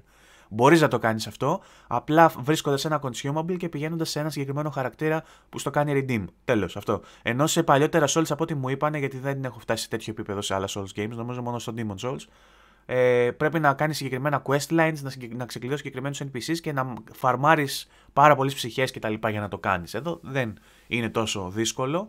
Ε, βέβαια, αν έχεις παίξει τώρα το μισό παιχνίδι με έναν τύπο και πας στα μέσα του παιχνιδιού να αλλάξεις τύπο και να μάθεις να παίζεις αλλιώς, ίσως να είναι λίγο ίσως παλούκι. Ναι, ναι. Ε, ιδανικά θα ήθελα να φτιάξω έναν υβριδικό χαρακτήρα. Αυτό εκεί θα σκόπευα. Δηλαδή να έχω τα χαρακτηριστικά που έχω τώρα που κάνω heavy damage με τα όπλα, αλλά να μπορώ να κάνω και κάνα μάγι. Δεν μπορώ να ναι. κάνω μάγια ε, τώρα σε αυτή τη φάση και με Λέω δεν το έχω να κάνω. Ξεκίνησα στην αρχή με υβριδικό αλλά πάνω σημείο και δεν τα παράτησα γιατί μου αρέσουν γενικά εμένα αυτά τα build με τα Heavy Armor και Halberd και τέτοιο στυλ. Και τα παράτησα τα Faith και αυτά και πήγα προς τα εκεί στην πορεία. Ναι. Έχεις, Όχι... ρίξει, έχεις ρίξει level βέβαια στο Faith, έτσι, που έχουν πάει στράφη αυτά. Ναι, ναι. Και πλέον δεν τα χρησιμοποιώ καν αυτά. Καθόλου. Δηλαδή έχω κάτι spell και τα έχω παρατήσει εδώ και κάποιες ώρες τελείως. Αλλά δεν πειράζει, μου αρέσει αυτό το, το, heavy τέτοιο εμένα. Έχω δει και μια ωραία πανοπλία, μια ωραία σπίδα και γουστάβω πλέον. Οπότε εντάξει. Δεύτερο θα πάω μαγεία σε δεύτερο playthrough. Που θα, θα, το κάνω το δεύτερο, δεν ξέρω αν θα το τερματίσω, αλλά θα το κάνω. Ε, Όμως πάνω σε αυτά που λέμε όλα τόση ώρα, εγώ θέλω να πω ότι χωράει easy mode. Χωράει easy mode. Το χωράει το easy mode. Με ποιον δηλαδή, τρόπο όμως, με, το, με τον παραδοσιακό τρόπο, τον multiplier, δηλαδή να, να τρώσει λιγότερο όχι, damage. Όχι, με ποιον τρόπο; Καλά όλα, αυτά, καλά όλα αυτά που λέμε, ότι έχει builds, έχει summon, έχει multiplayer, έχει δεκάδες πράγματα να σε βοηθήσουν. Όντως, ε, έχει fast travel, έχει πολλές περιοχές να εξερευνήσεις. Άρα, ε, από μόνο του αυτό εξομαλύνει τη δυσκολία γιατί μόνο και μόνο που σου δίνει, ανεξάρτητα με το αν θα γίνεις πιο δυνατός, σου δίνει κάτι άλλο να κάνεις. Δηλαδή, μπορώ να βάλω το παιχνίδι να παίξω και να μην παίζω το ίδιο πράγμα συνέχεια μέχρι να το περάσω, να κάνω κάτι άλλο και να διασκεδάσω. Και όποτε ξανά επιστρέψω στον πώ. Οπότε αυτό και μόνο κάνει τη δυσκολία λίγο πιο ανθρώπινη. Αλλά εγώ επιμένω τώρα, δηλαδή το, σκέφτομαι, το σκέφτηκα και πολύ και, και για άλλα παιχνίδια και λέω ότι θα μπορούσε να έχει easy τελικά. Γιατί ας πούμε έχω γνωστούς εγώ τώρα που ξέρουν τι είναι From Software, έχει τύχει να παίξουν παιχνίδι τους και να τους βγάλει το λάδι και να μην μπορέσουν να το παίξουν. Αλλά θέλουν να παίξουν το Elden Ring. Γιατί τους αρέσει το concept. Αυτά, που, αυτά που έλεγα και εγώ. Εντάξει, ναι, ότι θα ήθελα να, να παίξω περισσότερο. Αλλά δεν μπορούν. Δεν μπορούν. Ναι. Και όταν λέμε δεν μπορούν, σου λέει ο άλλος, Όχι, όλοι μπορούν, απλά πρέπει να ασχοληθείς πολύ. Δεν είναι έτσι. Εγώ, ας πούμε, έχει τύχει με να βλέπω γνωστό μου άνθρωπο, ο οποίος δεν παίζει video games γενικά, έχει παίξει σε φάση 2-3 και να πάει να παίξει το The Last of Us. Και να μην μπορείς σχεδόν με τίποτα να κερδίσει κάποια μάχη, παιδί μου, επειδή δεν προλαβαίνει να σημαδέψει και χρειάζεται αρκετές ώρες εκμάθησης ε, πραγμάτων που εσένα σου φαίνονται τελείως φυσικά Απλά. στο χέρι σου. Ναι, ναι, και... είναι, είναι δεύτερη φύση μου λέει ο άλλος. Δεν είναι όμω για όλους. Κάποιοι άνθρωποι είναι και ανεπίδεκτοι, έτσι. Ε, Βαριά λέξη, αλλά... το οποίο, ε, εσύ, ας πούμε, που έχεις παίξει RPG, έχεις παίξει action παιχνίδια, έχεις παίξει τέτοια, ακόμα και αν σου φαίνεται πολύ δύσκολο το Elden Ring και σου βγάζει την πίστη, άμα κάτσει και λιώσεις και ασχοληθείς, κάποια στιγμή θα τα καταφέρεις. Σίγουρα. Όμως, κάποιος ο οποίος έχει παίξει στη ζωή του δύο παιχνίδια, και αυτά τα δύο παιχνίδια ήταν, ξέρω εγώ, το, ε, ένα παιχνίδι δράσης και ένα παιχνίδι ξύλου, και ξαφνικά το βάλεις να παίξει Elden Ring. Εντάξει, παίζει, σου είπα, υπάρχουν αυτοί που λένε υπάρχουν ή δεν είναι για όλους, ρε παιδί μου. Με... δεν είναι Και για ποιον είναι τότε; Είναι για αυτούς, τους λίγους. από αυτού από αυτούς παίρνουμε, παίρνουμε μεγάλη απόσταση και είπαμε Μα, ότι... δεν είναι σωστό. Δεν είναι σωστό αυτό το πράγμα. Δεν υπάρχει δεν είναι για όλους. Είναι σαν να σου λέει ότι άμα θες να παίξεις Elden Ring, θα έπρεπε να παίζεις video games από τα 10 σου. Ε, κάτσε ρε φίλε, εγώ μπορεί να ανακάλυψα τα video games πέρσι. Να είχα ένα φίλο που να μου είπε: Α, κοίτα, έχεις παίξει ποτέ video games. Όχι, παίξε λίγο αυτό το παιχνίδι. Ναι, Α, αλλά θα σου, θα σου, πει ο άλλος ότι και καλά αν ε, αναπτύξουν ένα παιχνίδι έχοντας στο μυαλό τους ότι πρέπει να έχει και, και easy mode, ότι θα χαλάσει αυτό που έχουν τώρα. Δεν ισχύει. Άμα θέλει ο developer, μπορεί να βρει τρόπου. Δεν θα χαλάσει τίποτα απολύτως. Έχουμε δει πολλές περιπτώσεις. Έχουμε δει, ας πούμε, το, το καλύτερο παράδειγμα το Hades. Το καλύτερο παράδειγμα το Hades γιατί είχε easy mode, να περιγράψω πώς ήταν το Easy Mode, γιατί μπορεί να μην το, το έχουμε ξαναπεί και σε Game Storming και σε ναι, το ξέρω, δεν πειράζει, είναι ταιριαστό αυτό εδώ πέρα. Ότι ήταν το ίδιο παιχνίδι ακριβώς. Ακριβώς το ίδιο παιχνίδι, ακριβώς οι ίδιοι εχθροί, το ίδιο scale, το ίδιο damage, το ίδιο health, δεν άλλαζε τίποτα. Απλώς κάθε φορά που έχανες, σου έδινε συν 2 damage resistance για την επόμενη φορά που θα παίξεις. Κάθε φορά. Συν 2%. Και μετά αυτό διπλασιαζόταν. Πήγαινε συν 4, συν 6 και πάει λέγοντας. Άρα, άμα έχανες συνέχεια και δεν μπορούσες να το παίξεις με τίποτα, ε, έκανε πολύ μεγάλο scale αυτό το πράγμα και ανέβαινε πολύ γρήγορα το resistance που είχες, σιγά σιγά σιγά με κάθε θάνατο και έφτανες μέχρι να φτάσεις στο σημείο που ήσουν άνετα. Δηλαδή θα χάσεις 10 φορές, συν 20 για παράδειγμα, λέω εγώ τώρα. Είσαι άνετα με αυτό. Συνεχίζεις και παίζεις πιο άνετα. Δεν άλλαζε το παιχνίδι, δεν άλλαζε εχθροί, δεν άλλαζε τίποτα. Απλά σιγά σιγά γινόταν ο χαρακτήρας σου, δεν θα μπορούσε να γίνει κάτι αντίστοιχο στο Elden Ring. Ρωτάω εγώ. Θα μπορούσε να γίνει. Θα μπορούσε να υπάρχει ένα mod, όχι για όλους, το ενεργοποιείς εσύ. Πατάς ένα κουμπί και το ενεργοποιείς. Ξέρεις γιατί αυτό είναι διαφορετικό; Γιατί σου λέει ο άλλος ότι αν υπήρχε easy mode στο Elden Ring, το οποίο σου ρίχνει ας πούμε το, το damage των εχθρών ή σε κάνει πιο δυνατό ή οτιδήποτε, και μπορείς να το ενεργοποιήσεις όποτε θέλεις, αυτό εγώ δεν το στηρίζω, αλλά το λέει πολλοί κόσμος, θα ήταν ε, πειρασμός, λέει ο άλλος, ότι π.χ. κόλλησα σε ένα boss 5 ώρες, θα βάλω το easy mode, θα το βγάλω τον boss και θα ξαναβάλω το normal. Άρα θα χαλούσε η εμπειρία γιατί θα σε σε έναν πειρασμό να κάνεις το εύκολο παιχνίδι. είπαμε, μπορείς όταν, όταν θα πατήσει το κουμπί να χάνεις το τρόπο το perfect playthrough. Και πάλι, μπορεί ο άλλο να μην τον ενδιαφέρει το τρόπο. Οπότε σου λέει θα με βάλει εμένα σε πειρασμό, να το κάνω πιο εύκολο επειδή έχω απελπιστεί και θα χάσω από την εμπειρία. Α πούμε ότι είναι δεκτό, που δεν το δέχομαι ακριβώς, αλλά ας πούμε ότι είναι δεκτό. Όταν μιλάμε για ένα easy mode όμως, το οποίο χρειάζεται χρόνο για να ενεργοποιηθεί, ότι ας πούμε στο Elden Ring, κάθε φορά που χάνεις για παράδειγμα, να παίρνεις ένα μικρό ποσοστό από κάποιο, κάποια βελτίωση. Όχι να σου δίνει ξέρω, συν 20 damage κάθε φορά που χάνεις. Ένα μικρό ποσοστό που στο, την επόμενη φορά που θα παίξεις να μην έχει καν διαφορά. Να χρειάζεται αρκετές φορές για να καταλάβεις τη διαφορά που δημιουργεί αυτό το πράγμα. Τότε δεν θα έμπαινε καν σε πειρασμό. Γιατί θα σήμαινε αυτό ότι θα πρέπει να το ενεργοποιήσεις, να χάσεις πόσες φορές και αυτό το πράγμα. Δεν θα είναι το ίδιο. Αυτό. Οπότε θα μπορούσε με αυτόν τον τρόπο κάποιος παίκτης να το παίξεις πολύ. Εγώ σου λέω, έχω γνωστούς όντως που θέλουν να παίξουν Elden και δεν μπορούν. Και είναι σαν να τους λες, sorry φιλαράκι, αυτό το, το άθλημα, το χόμπι δεν είναι για σένα. Να πας να παίξεις ποδόσφαιρο. Δεν πάει έτσι. Δηλαδή κάποιος μπορεί να ανακαλύψει τα video games τώρα. Τώρα, να μην έχει ξαναπέξει, παιδί μου. Γιατί να μην παίξει Elden Ring; Για ποιο λόγο; Γιατί όσο και αν θέλουμε να λέμε ότι μπορεί να παίξει όποιος θέλει, απλά πρέπει να ασχοληθεί, δεν είναι έτσι. Κάποιος ο οποίος δεν παίζει video games γενικά, άμα κάτσει να παίξει Elden Ring, μπορεί να χρειαστεί για να περάσει το πρώτο boss πάνω από 100 ώρες. Κυριολεκτικά. Γιατί εσύ που παίζεις αυτό το παιχνίδι, εσύ για να φτάσεις στο σημείο να, να δυσκολευτείς, δεν θα δυσκολευτείς στο χειρισμό, ας πούμε.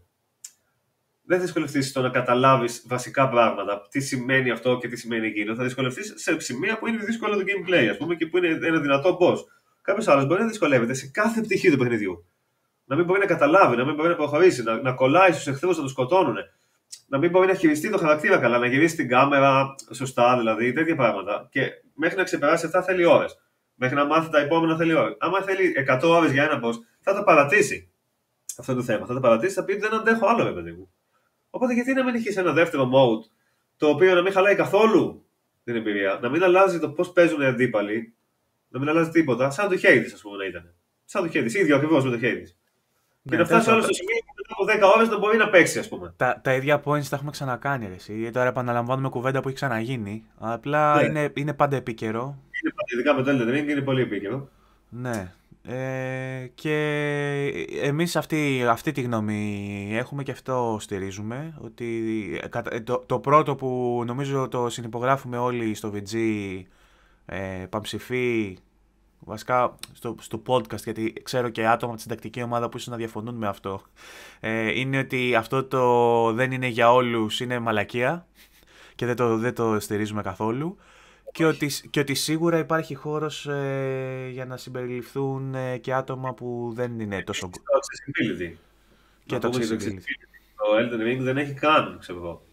Δηλαδή, πλέον έχει αρχίσει να γίνεται μεγάλο βήμα προς το θε- θετικό βήμα σε αυτή την κατεύθυνση και τα περισσότερα παιχνίδια, αν όχι όλα, να έχουν έστω βασικά, βασικές επιλογές για να βελτιώσει το, Ξέρεις τι, την προσβασιμότητα. Προσπαθώ να σκεφτώ ιαπωνικά παιχνίδια με accessibility features. Ξέρεις πολλά. Δεν θυμάμαι. αλήθεια, Δεν θυμάμαι. Ας πούμε, Αν- δεν, δεν μπορώ να το τέτοιο. Δεν Ίσως ξέρω. το, ίσως, ίσως το Resident Evil, αν δεν κάνω λάθος, πρέπει να έχει κά- κάποια... Πάντως γενικά πλέον είναι αρκετά τα παιχνίδια που έχουν, ώστε να μπορείς σιγά σιγά να θεωρείς σχεδόν δεδομένο ότι το παιχνίδι που παίζεις θα έχει έστω κάποιες επιλογές βασικές. Το Elden Ring, και διόρθωσέ με αν κάνω λάθος, δεν έχει τίποτα. Δεν έχω δει κάτι. Νομίζω δεν έχει απολύτως τίποτα. Όχι δεν έχει τα, τα αρκετά, νομίζω δεν έχει καν τέτοιες επιλογές. Και εντάξει, παιδί μου, σου λέει ο άλλος να μην είναι δύσκολο. Ε, Δεκτό, εντάξει, δεκτό να είναι δύσκολο. Κάποιος όμως μπορεί να μην μπορεί να το παίξει. Όχι επειδή είναι δύσκολο, επειδή δυσκολεύεται σε, σε, σε, σε άλλου είδους κομμάτια του παιχνιδιού. Τα οποία θα μπορούσαν να λυθούν με μια απλή εξατομίκευση, να αλλάζει κάπως κάποια πράγματα στο χειρισμό, στην κάμερα, στο τέτοιο. Και δεν, δεν έχουν βάλει. Είναι- Εκεί είναι σαν να σου λέει ότι όντως δεν είναι για σένα. Αυτό το παιχνίδι είναι για πολύ συγκεκριμένα άτομα, ξέρω εγώ, που παίζουν έτσι, έτσι και έτσι και κάνουν αυτό και αυτό και αυτό. Εσύ πήγε. Πήγε να παίξεις ε, Far Cry. Λίγο που το έψαξα εδώ πέρα δεν έχει λέει ούτε μία... Το accessibility δεν το κάνει πιο εύκολο. Ε, Το Το μόνο, παιχνίδι. το μόνο που μπορεί να θεωρηθεί έτσι λίγο accessibility feature είναι το key binding μενού που έχει. Μπορείς να Καλά, αλλάξεις εντάξει, από άμα δεν είναι binding, πιο πολύ. Αλλά το accessibility δεν είναι easy mode. Μπορεί να νομίζει ο άλλος ότι, ότι είναι easy mode, ότι άμα μου βάζεις να κάνω αυτό, άρα είναι πιο εύκολο. Δεν είναι πιο εύκολο. Δεν γίνεται πιο εύκολο με αυτές τις επιλογές. Γίνεται, δημιουργεί, δημιουργεί μια, μια γέφυρα για να παίξουν περισσότεροι άνθρωποι. Γιατί, γιατί είναι κακό αυτό, δεν μπορώ να καταλάβω. Ναι, που στο τέλος είναι και καλύτερο να παίξουν περισσότεροι άνθρωποι και για το ίδιο το franchise και για το ίδιο το παιχνίδι. Αν δηλαδή αγαπάς τα Souls Games και θες να εξελιχθούν, θες να γίνουν ε, πιο ε, accessible στον κόσμο, να παίξει περισσότερος κόσμος, να κάνει καλύτερες πωλήσεις, να γιγαντωθεί το όνομα, να, να, να πάει προς το καλύτερο. Γιατί αν φτιάξεις μια εικόνα ότι είμαι, είμαι ένα παιχνίδι που είμαι δύσκολο και είμαι μόνο για μερακλείδες και αφορά μόνο μερακλείδες, δεν θα εξελιχθεί το παιχνίδι αρκετά. Δεν θα ρίξει η άλλη εταιρεία πάνω ο publisher αρκετά χρήματα γιατί όταν στοχεύει σε πιο μικρό νης κοινό, νης το λέει ο Παύλος, εγώ δεν συμφωνώ με αυτό, ε, όταν ε, επενδύεις σε ένα παιχνίδι που ξέρεις ότι έχει κάποιο όριο στο κοινό το οποίο στοχεύει, ε, ρίχνεις και πιο- με μεγαλύτερη φιδό τα χρήματά σου, ας πούμε, άρα με μικρότερο budget βλέπεις και μικρότερη εξέλιξη. Ε, εγώ ιδανικά θα ήθελα να δω τον Μιαζάκη σε κάποια φάση να του δίνονται όλα όσα χρειάζεται για να εξελίξει πραγματικά τα παιχνίδια του. Όχι στο κομμάτι το οποίο α- α- α- αδιαμφισβήτητα κάνει τρομερά, δηλαδή στο, στο gameplay και το game design του, αλλά στα πιο τεχνικά τα οποία ε, έχουμε αναλύσει ήδη σε άλλες εκπομπές το τι παίζει εκεί πέρα και δεν είναι τόσο καλά τα νέα. Ε, και ούτε τα παλιά. Ή μάλλον Ναι, τα, νέα ναι, και τα, ναι, ναι. τα νέα και τα παλιά είναι ίδια μάλλον. Ε, Θα θα, έπρεπε ήθελα όμως, θα ιδανικά ν- να δω ρε παιδί μου να έχει τα χρήματα, το budget Να ώστε έχει μια ομάδα τέλος πάντων έχει που να μια μπορεί να ομάδα- δημιουργήσει κάτι άλλο, ναι. που εξελίσσει τη μηχανή γραφικών και πάει μπροστά και αυτό το Δηλαδή, γιατί όσο και ωραία εδώ έχουμε- παιχνίδια και να φτιάχνει, κάποια στιγμή πρέπει να προχωρήσει και σε αυτό το κομμάτι. Ναι, έχουμε και εδώ το επιχείρημα ότι δεν το παίζεις για τα γραφικά, αλλά αυτές αυτές είναι λέξεις, δεν το παίζεις για τα γραφικά. Είναι κάποιες λέξεις που έχουν μπει σε μια σειρά, σχ- σχηματίζουν μια πρόταση η οποία γραμματικά στέκει, αλλά δεν βγάζει κανένα νόημα στην πραγματικότητα. Δεν το παίζεις για τα γραφικά. Κανένα παιχνίδι δεν παίζει για τα γραφικά. Κανένα, κυριολεκτικά κανένα παιχνίδι. Και Εκτός από ταυτόχρονα- κάποια που και μπορεί να είναι ταυτόχρονα- showcase, ας πούμε. Και Κανένα παιχνίδι δεν ταυτόχρονα, παίζει και για τα ταυτόχρονα τα παίζεις όλα για τα γραφικά. Γιατί αν Ναι, δεν θέλω υπήρχαν να πω, γραφικά δεν θα δεν- παίζεις τίποτα. Δεν τα παίζει. Έλατε. Text adventure, ξέρω εγώ. Δεν τα παίζεις μόνο. Δεν σημαίνει κάτι. Τι πρέπει να τα παίζει. Δεν, τα παίζει, δεν το παίζω ούτε για τη μουσική το παίζω, ούτε για, το, για τα ηχητικά εφέ το παίζω, ούτε για το level design το παίζω. Το παίζω για όλα αυτά. Δηλαδή, ας πούμε, το Elden Ring, ε, το art design, ο, ο σχεδιασμός του κόσμου, τα πάντα, οι χαρακτήρες, οι περιοχές, είναι, είναι κορυφαία πραγματικά. Είναι κορυφή αυτό το πράγμα. Δηλαδή, βλέπεις βλέπεις μια περιοχή πώς είναι σχεδιασμένη και λες ότι αυτό το πράγμα είναι απίστευτο. Μπαίνεις μέσα στο, στη, στην πρωτεύουσα του χάρτη, στη, πώς τη λένε, δεν θυμάμαι, και βλέπεις μπροστά σου ένα ολόκληρη, μια ολόκληρη περιοχή που θα μπορούσε να είναι ολόκληρη, ολόκληρος ο κόσμος ενός παιχνιδιού φάση. Μια πίστα ολόκληρη και αυτό το πράγμα είναι μέρος του, του open world και από πίσω βλέπεις το δέντρο εκείνο το τεράστιο που φωτίζει. Είναι απίστευτο καλλιτεχνικά αυτό το πράγμα. Είναι, είναι κορυφή. Δηλαδή δύσκολο θα βρεις κάτι πιο όμορφο από το Elden Ring. Είναι πανέμορφο. Αλλά είναι πανέμορφο επειδή οι καλλιτέχνες που έχουν σχεδιάσει όλα αυτά τα πράγματα είναι πάρα πολύ καλοί στη δουλειά τους. Όχι επειδή αυτός ο οποίος μετέφρασε την τέχνη αυτών των ανθρώπων σε γραφικά έκανε. Όχι, δεν είναι η δουλειά ακριβώς το θέμα. Α το πούμε μεταφορικά ότι έκανε τη δουλειά του. Δεν είχε ε, τα εργαλεία να το κάνει. Ναι, δηλαδή βλέπεις πράγματα τα οποία όσο όμορφα κι αν είναι που είναι, ξέρεις ότι με τα σημερινά δεδομένα, με τη σημερινή τεχνολογία, θα μπορούσε να είναι πολύ πιο όμορφα. Αν και το είναι κάνει... κρίμα που δεν είναι, παιδί μου. Αν το, αν το υλοποιούσε η Blue Point, για παράδειγμα. ναι, για παράδειγμα, αν έχει γραφικά Demon Souls σε remake στο Elden Ring, για παράδειγμα. Με το ίδιο art design, με τους ίδιους δημιουργούς από πίσω, απλά με καλύτερα textures, καλύτερο. Όλα τα πάντα, με παιδί μου, τέλος πάντων. Κάθε σημείο το γραφικό να ήταν καλύτερο. Γιατί τώρα βλέπεις προβλήματα, όντως. Τι θα κάνουμε τώρα. Υπάρχουν. Στα γραφικά υπάρχουν σημεία τα οποία δεν είναι ε, αντάξια του παιχνιδιού και αντάξια συγκεκριμένα της καλλιτεχνικής διεύθυνσης του παιχνιδιού. Δηλαδή δεν μπορεί να βλέπεις ένα τόσο όμορφο πράγμα, τόσο όμορφο αποτέλεσμα και όχι ένα μικρό indie παιχνίδι που το έχουν φτιάξει τρία άτομα, ρε παιδί μου, και να μην, να μην σε εντυπωσιάζει επειδή λες ότι εντάξει, ωραίο ξέρω εγώ, αλλά θα μπορούσε αυτό να είναι. Γιατί όντως θα μπορούσε να είναι καλύτερο. Γιατί εγώ, ας πούμε, να το πω και συνολικά, το Elden Ring έχει κορυφαίο level design, κορυφαίο όμως, δηλαδή σε φάση δεν βρίσκεις καλύτερο level design από το Elden Ring, δεν γίνεται. Πες να είναι ο καλύτερος ανοιχτός κόσμος που έχω δει στη ζωή μου, που έχω εξερευνήσει ποτέ μου. Η μάχη είναι απίστευτη. Τα builds είναι τέλεια. Η πρόοδος των συστημάτων ε, ρόλων, δηλαδή το πώς φτιάχνεις το χαρακτήρα και όλα αυτά είναι τέλεια. Το σενάριο είναι πάρα πολύ ωραίο. Τα πάντα είναι πάρα πολύ ωραία, αλλά έχει κάποια προβλήματα τα οποία είναι κυρίως τεχνικά. Κυρίως. Για παράδειγμα το pop-in.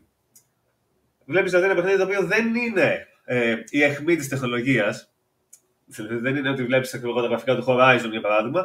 Και παρόλα αυτά γυρνάω την κάμερα και βλέπω μπροστά μου τα χορταράκια κάτω να, να βγαίνουν μπροστά στα μάτια μου και τα δέντρα και τα βουνά ξέρω να αλλάζουν τέτοια. Και αυτό εμένα με, με ενοχλεί. Πώς θα το κάνουμε τώρα; Θα σου πει άλλος γιατί για τα γραφικά παίζεις; Ε, όχι, φίλε, δεν παίζει για τα γραφικά, αλλά δεν μου αρέσει να το βλέπω. Πώς θα το κάνουμε τώρα; Δεν είναι κάτι να το βλέπω και λέω: καλή φάση, κοίτα να δεις. Ε.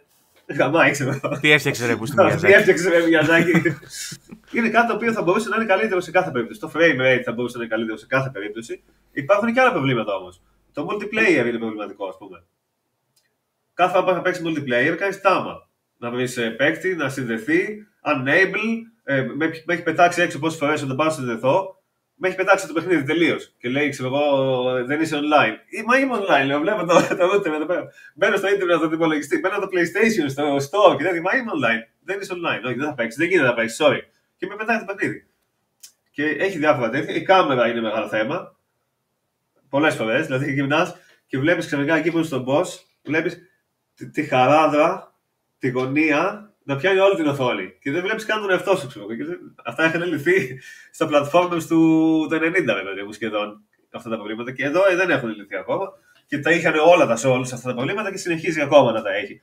Ε, είναι σαν ότι έχουν επαναπαυθεί, επειδή έχουν το Μιαζάκι ας πούμε, και τους designers γενικά, που είναι όντως κορυφαίοι σε αυτό που κάνουν σε αυτή την εταιρεία. Το art είναι κορυφαίο, τα bosses είναι κορυφαία. Σχεδόν όλα είναι κορυφαία σε αυτό το παιχνίδι. Αλλά είναι σαν να σου λέει: Εντάξει, αφού έχουμε αυτά, Άραξε, τα υπόλοιπα είναι μαλακίες. Ε, δεν είναι μαλακίες. Γιατί να μην το κάνεις τέλειο; Και ξέρω εγώ, είναι, είναι πολύ κοντά. Αυτό το δεν είναι για όλους και το ξέρω εγώ, δεν παίζει για τα γραφικά. Το έχουν ξεκινήσει αυτοί που είναι στο τεχνικό department του των From Software. Μπαίνανε στο Twitter και γράφουν. Ή μπαίνουν σε όλα τα post με ψεύτικα προφίλ και, και γράφουν. Συνεχίζω το συνωμοσιολογικό γιατί μου είπαν ότι είμαι συνωμοσιολόγος. Ότι και καλά τα λέω όλα αυτά γιατί θέλω να κάνω εντύπωση, μου λένε, και ότι θέλω να κάνω, ε, να κάνω θέμα, ξέρεις. Ότι δεν δε τα λέω επειδή τα πιστεύω, τα λέω επειδή θέλω cloud. Ναι. και να, να, να, τελειώσω και με αυτά που έλεγα τώρα, να πω ότι εγώ είμαι ένας άνθρωπος, εμένα που με βλέπετε, είμαι ένας άνθρωπος που δεν, δεν με πολύ νοιάζουν τα γραφικά, όντως. Δηλαδή, έχω παίξει παιχνίδια με προβλήματα σοβαρά, με διάφορα. Δεν με πολύ νοιάζει. Έχω παίξει το. Ο Βασίλης έχει, βγάλει, έχει βγάλει γκότι το Baba is You να πούμε που ήταν με τέσσερις γραμμές. Εντάξει, δεν έχω βάλει γκότι, αλλά στα καλύτερα. Ναι. Ε, έχω παίξει παιχνίδια, ας πούμε, είχα παίξει το Cyberpunk πολύ νωρίτερα. Πριν φτιαχτεί δηλαδή. Και εγώ δεν είχα ιδιαίτερο θέμα. Εντάξει, έβλεπα κάποια προβλήματα που είχε, αλλά δεν με πολύ πήρε. τα bugs. Πόσα, πόσα παιχνίδια που είναι cross-gen τα έχεις παίξει στο Xbox το παλιό, ξέρω εγώ, το ναι, One; Ναι, ναι, ναι, ναι, ναι, ισχύει. Έχω παίξει διάφορα παιχνίδια στην όχι καλύτερη μορφή τους. Δεν έχω μεγάλο πρόβλημα. Δεν είναι καν ελιτιστής, δηλαδή, σαν και εμένα που άμα δεν είναι ultra. Ναι, είναι... δεν με ενδιαφέρει καν. δεν με ενδιαφέρει καν εμένα αυτό το πράγμα. Αλλά και το Elden Ring δεν είναι ότι είναι unplayable ή κάτι τέτοιο, προφανώς. Απλά είναι κρίμα να βλέπεις ένα τόσο όμορφο αποτέλεσμα σαν το Elden Ring και να κρατιέται πίσω από τέτοιου είδους τεχνικά προβλήματα τα οποία σήμερα είναι λιμένα. Ναι. Σε μεγάλο του μέρο τουλάχιστον. Δεν μου λες με το review τι θα κάνεις τελικά, πώς το βλέπεις, πώς το προσεγγίζεις; Τι βαθμό εννοείς; Ναι, μέχρι στιγμής. Να, αφήσουμε και, να αφήσουμε και μια έκπληξη. θα διαβάσουν έστω πέντε άτομα, ξέρω αφού το έχω διαβάσει παντού το review που λένε. Ναι, ναι. Εντάξει, και αν μην κάνεις κλικ με αυτό, θα κάνεις κάποιο άλλο αντίστοιχο του τύπου ότι οι κατσίκες είναι ο λόγος που παίζεις Elden Ring. Και θα... Πάντως αποκλείεται να δεις review που δεν θα έχει αστεράκια στο αρνητικό, ξέρω εγώ, γιατί έχει αρνητικά πράγματα το παιχνίδι. Αυτό δεν σημαίνει ότι δεν παίρνει 10 και, το, και σε άλλα παιχνίδια έχω βάλει 10 με αρνητικά μέσα. Το μόνο παιχνίδι που έπαιξα πρόσφατα που δεν, δεν υπήρξε κάτι που δεν μου άρεσε ήταν το Forza 5. Που δεν, δεν έχει κάτι που θεωρώ ότι είναι κακό design ή κάτι τέτοιο. Τίποτα. Αλλά και άλλα παιχνίδια, για παράδειγμα το Red Dead Redemption 2, που εξακολουθώ να θεωρώ ότι είναι δεκάρι και θα το πιστεύω και μετά, γιατί και μάλιστα είναι από τα παιχνίδια που έκαναν πράγματα που θα συζητιούνται με παιδί μου και τέτοια, είχε προβλήματα και εκείνο είχε κάποια προβλήματα που ήταν αντικειμενικά προβλήματα. Όπως και το Elden Ring. Δεν είναι θέμα άποψης. Δεν είναι θέμα άποψης αυτό το πράγμα. Όταν έχει το παιχνίδι τέτοιο pop-in, ας πούμε, όπως έχει αυτή τη στιγμή στο PlayStation 5 που παίζω εγώ, ναι. Αυτό Καλά, είναι αυτό είναι μεγάλη κουβέντα. Δηλαδή. Γιατί κι άλλοι λένε ότι εγώ που το παίζω, λέει το παιχνίδι δεν, στο PlayStation 5, δεν βλέπω τίποτα και δεν, δεν έχει τρόπο. Ναι, και, άλλο, και εγώ έχω δει να λένε ότι είναι εξίσου όμορφο με το Demon's Souls. OK, okay, αλλά ναι, εντάξει, ο καθένας μπορεί να λέει ό,τι θέλει. Ναι, εντάξει.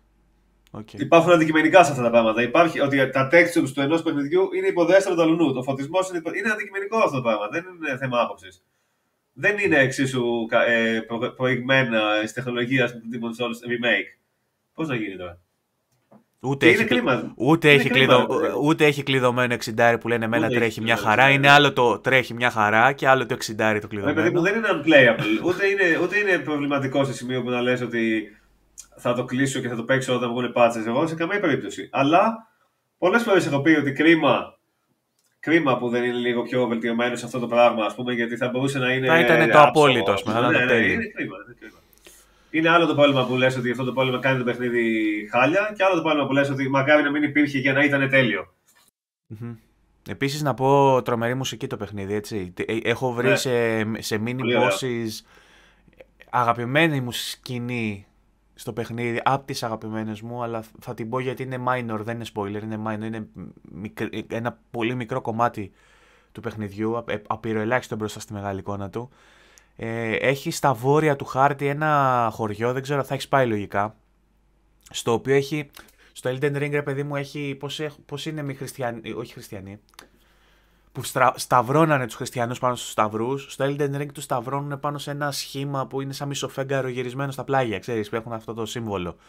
Ε, και είναι ένα χωριό τώρα που έχουν ε, πιάσει τους δυνάστες τους και τους έχουν κρεμάσει σε, αυτά τα, σε αυτούς τους σταυρούς εντός εισαγωγικών και έχει κάποιες γριές οι οποίες είναι σαν τερα, τερατώδεις γριές οι οποίες χορεύουν χαρούμενες ε, γύρω, γύρω, από αυτό σε ένα χωριό το οποίο είναι πολύ γραφικό, πολύ, πολύ όμορφο πολύ όμορφο χωριό, έτσι, πάνω σε μια πλαγιά χτισμένο με λουλούδια, ξέρω εγώ, με τα σπιτάκια, με αυτά. Αλλά παρόλα αυτά, οι χαρούμενες γυναίκες που χορεύουν γιατί έχουν απελευθερωθεί από το δυνάστη, ας πούμε, ε, είναι άσχημες και γριές, ας πούμε, και χορεύουν.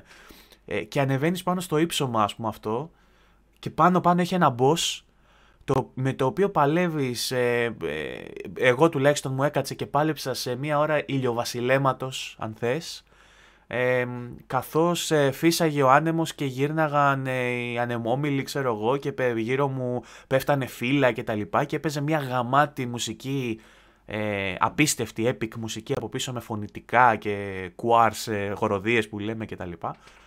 Ε, και ήταν και πολύ δύσκολο το boss και πάρα πολύ ωραία μάχη, απίστευτο, απίστευτο moveset ε, το boss και ένιωσα ρε παιδί με αυτό το δέος του πολύ καλού side mission που είχα να νιώσω από το Witcher το οποίο επίσης ε, χαρακτηρίζεται από τα πολύ καλά ε, side quests και side missions. Ε, ήταν, είναι από τα highlights μέχρι στιγμής του playthrough μου ε, και γενικά εγώ έχω να πω ότι περνάω πάρα πολύ καλά και είναι ένα στοίχημα αυτό πιστεύω για το, για το στούντιο το να καταφέρει να κάνει και άτομα αρνητές mm.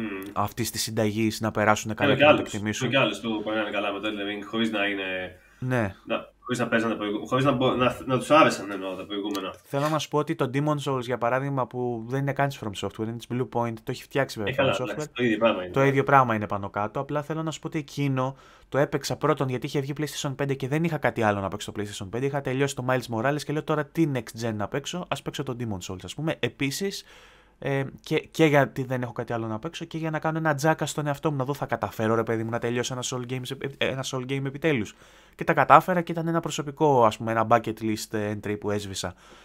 Ε, το Elden Ring είναι το πρώτο παιχνίδι From Software που το παίζω και γουστάρω πραγματικά ρε παιδί μου. Δηλαδή δεν μπορώ να κάνω άλλα πράγματα. Ε, πάω να δω με ταινία και σκέφτομαι, έλα, ξέρω εγώ, να τελειώνει η ταινία να πάω να παίξω Elden Ring ή ξέρω εγώ, ε, ε, έλα, και άλλη μια φορά και πέφτω για ύπνο και τελικά παίζω μέχρι τις 6.30 το πρωί.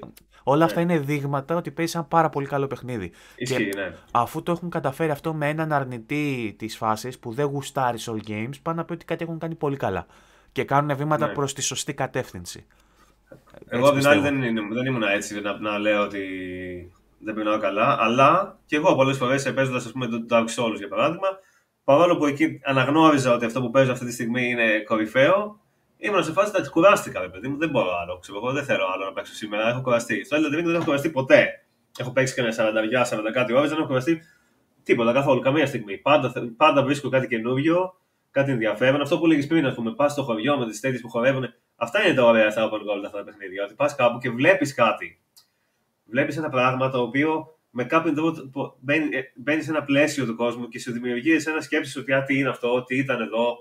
Δεν είναι ότι βλέπεις ένα χαρτί που γράφει εδώ ήταν το χωριό τάδε, έγινε αυτό και αυτό και αυτό και αυτό. Και άμα κάνεις αυτό, θα πάρεις αυτή την αποστολή και θα πρέπει να πας στο market. Βλέπεις κάτι το οποίο σου δημιουργεί ερεθίσματα και λες ότι τι έγινε εδώ, τι είναι αυτός ο χαρακτήρας, γιατί αυτό είναι έτσι. Και έχει διάφορα Ή το ακούσα από αλλού. Σου λέει κάποιος άλλος NPC ότι βόρεια από εδώ μην πας γιατί έχει ένα χωριό που εκεί ξέρω ναι, ναι. σφάξαν τους δυνάστες τους και, και λες και εσύ, Ω, αυτό θα είναι πολύ σκατένιο, ξέρω εγώ, για να τους έχουν σφάξει τους δυνάστες τους και θα πρέπει να είναι μια πολύ σκοτεινή πόλη. Και πας και βλέπεις ξαφνικά ένα πολύ χαρούμενο. Ότι έχουν τη δική τους τη φασούλα, ρε παιδί μου. Δεν, δεν περιστρέφεται όλο ο κόσμος γύρω από σένα. Έχουμε και εμείς εδώ τις ζωούλες μας, ξέρω εγώ. Αυτά είναι ωραία στο Open Gold. Και αυτό είναι και ένα από τα στοιχεία που δημιουργεί τη χαρά του Open Gold. Ότι ας πούμε στο Elden Ring κάνει κάτι το οποίο σπάνια βλέπεις. Στα περισσότερα Open World παιχνίδια, ένα μεγάλο κομμάτι του παιχνιδιού είναι στο Open World. Μέσα στον ανοιχτό κόσμο δηλαδή, κυκλοφορείς, πολεμάς εχθρούς εκεί και τέτοια. Στο Elden Ring πας σε ένα μέρος και ξαφνικά βρίσκεσαι σε ένα άλλο μέρος, σε ένα dungeon, το οποίο είναι όμως μεγέθους όχι μια σπηλιά ξέρω εγώ, με πέντε εχθρούς και δύο δεδόμου. Είναι μεγέθους dungeon παιχνιδιού που δεν είναι open world. Ξαφνικά δηλαδή βρίσκεσαι σε μια πίστα που διαρκεί ώρες για να τελειώσει. Και μετά ξαναβγαίνεις στο open world, seamlessly, δηλαδή χωρίς load, χωρίς τίποτα. Και αυτό είναι πραγματικά εντυπωσιακό. Το πώς το έχουν καταφέρει. Ότι μπαίνω σε, ένα, σε μια πόλη ολόκληρη που είναι σημαίνει σαν dungeon και έχει bosses δικά της ε, ορόφου ξεχωριστούς, ε, γρήφου, εχθρούς, αντικείμενα. Στο Spider-Man το γεγονός ότι έβγαινε από κτίριο και δεν χρειαζόταν loading για να, σου βάλει, να σε βάλει στην πόλη έγινε ολόκληρο θέμα ναι. και το συζητούσαμε. Ενώ ας πούμε στο Elden Ring δεν έχει γίνει κάτι αντίστοιχο που το κάνει πρακτικά συνέχεια αυτό. Εντάξει, είναι και βέβαια πιο, είναι, έχει προχωρήσει γενικά λίγο η φάση πλέον. Έχουμε ξαναδεί αντίστοιχα πράγματα. Αλλά αυτό Elden Ring είναι πιο εντυπωσιακό. Δεν είναι όπως στο Skyrim που μπαίνεις σε μια σπηλιά και έχει ξέρω εγώ η σπηλιά κάτι αράχνες και κάτι τέτοια και πας και βρίσκεις έναν boss. Είναι πολύ... και, και, έχει και loading για να μπεις και να βγεις από τη Έχει και loading. που έχουμε φτάσει, λες, δηλαδή. Ναι, έχει, έχει περίπλοκες πίστες. Έχει actual dungeons, δηλαδή όπως ένα κάστρο ολόκληρο. Ή το Academy εκείνο, καταπληκτικό dungeon. Πραγματικά. Πάρα πολύ ωραίο dungeon. Έχει πιο ωραία μετά βέβαια. Στην πρωτεύουσα είναι μέχρι στιγμής Το, το, το Academy ήταν σαν παιχνίδι μέσα σε παιχνίδι. Εγώ νομίζω Ήταν ότι σαν να έβαλα, παίζεις ένα έβαλα να ξεχωριστό παίξω παιχνίδι, Bloodborne. Λες και ήταν expansion του Bloodborne Ναι. ήταν. Ήταν καταπληκτικό dungeon, ολοκληρωμένο, μεγάλο σε διάρκεια και αυτό είναι μέρος του open world. Μπαίνεις και βγαίνεις δηλαδή και απλά συνεχίζεις να παίζεις έξω. Και αυτό είναι εντυπωσιακό ότι το έχουν καταφέρει να εντάξουν αυτό το, το design του Dark Souls, ας πούμε, την πίστη- μια ολόκληρη πίστα του Dark Souls, να την εντάξουν σε έναν ανοιχτό κόσμο μέσα και να μπαίνεις και να βγαίνεις και να πας και σε άλλη. Αυτό είναι εντυπωσιακό. Εμένα με εντυπωσιάζει πάρα πολύ.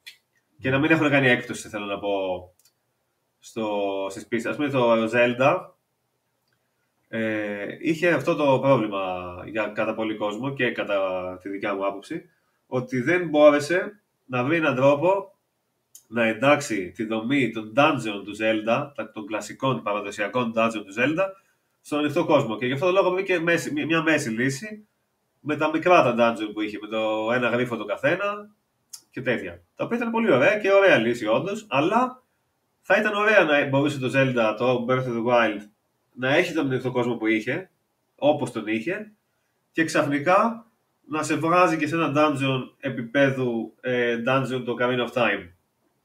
Χωρίς loading, χωρίς τίποτα. Να μπαίνεις μέσα στο dungeon, να το ολοκληρώνεις όλο αυτό το πράγμα και μετά να βγαίνεις και να συνεχίζεις. Ε, αυτό το κάνει το Elden Ring. Και αυτό δεν το έχει ξανακάνει κανένας μάλλον. Σε τέτοιο βαθμό. Όπως το Elden Ring. Να έχει τόσο ολοκληρωμένες πίστες μέσα στον ανοιχτό κόσμο. Ο οποίος ανοιχτός κόσμος να είναι επίσης τόσο ολοκληρωμένος. Κάθε σημείο του να είναι σχεδιασμένο ξεχωριστά, να έχει συγκεκριμένα πράγματα. Μυστικά, φανερά, τρύπες, dungeons, τέτοια, bosses παντού. Αυτό το πράγμα είναι απίστευτο πραγματικά. Δεν μπορείς, δεν χορταίνεις να ψάχνεις. Δηλαδή. Ισχύει. Τέλεια. Λοιπόν, νομίζω ότι κάναμε μια ωραία ανάλυση και θα στο αφήσω κάπου εδώ, δεν θα συνεχίσω για να σου, να σου αφήσω και δύο-τρεις σκέψεις να βάλεις στο review σου, να μπει και ο κόσμος να διαβάσει και Ωραία. κάτι έξτρα. Γιατί με όλα αυτά που είπαμε ίσως να φανεί και ότι επαναλαμβάνεσαι μετά στο κείμενό σου, που είναι δύσκολο να το κάνει αυτό ο Τατσιόπουλος. Σίγουρα θα βρει κάτι να το πάει μέσω μιας διαφορετικής Ξέρω, οδού. μακάρι. Ε, με, με, με, με κολοτούμπες, με κατσίκες. Θα το πάει από, από τα πλάγια, ναι. Μα αυτό, μα, ε, ε, ορίστε, μιας και λέμε για τα, αυτό. Αυτό το πράγμα, αυτό είναι χαρακτηριστικό παράδειγμα του γιατί είναι ωραίο ένα open world. Δηλαδή βγαίνεις έξω και περπατάς και βλέπεις ένα παράξενο πράγμα. Που δεν θα το έβλεπες σε άλλες περιπτώσεις. Βλέπεις μια κατσίκα που κάνει.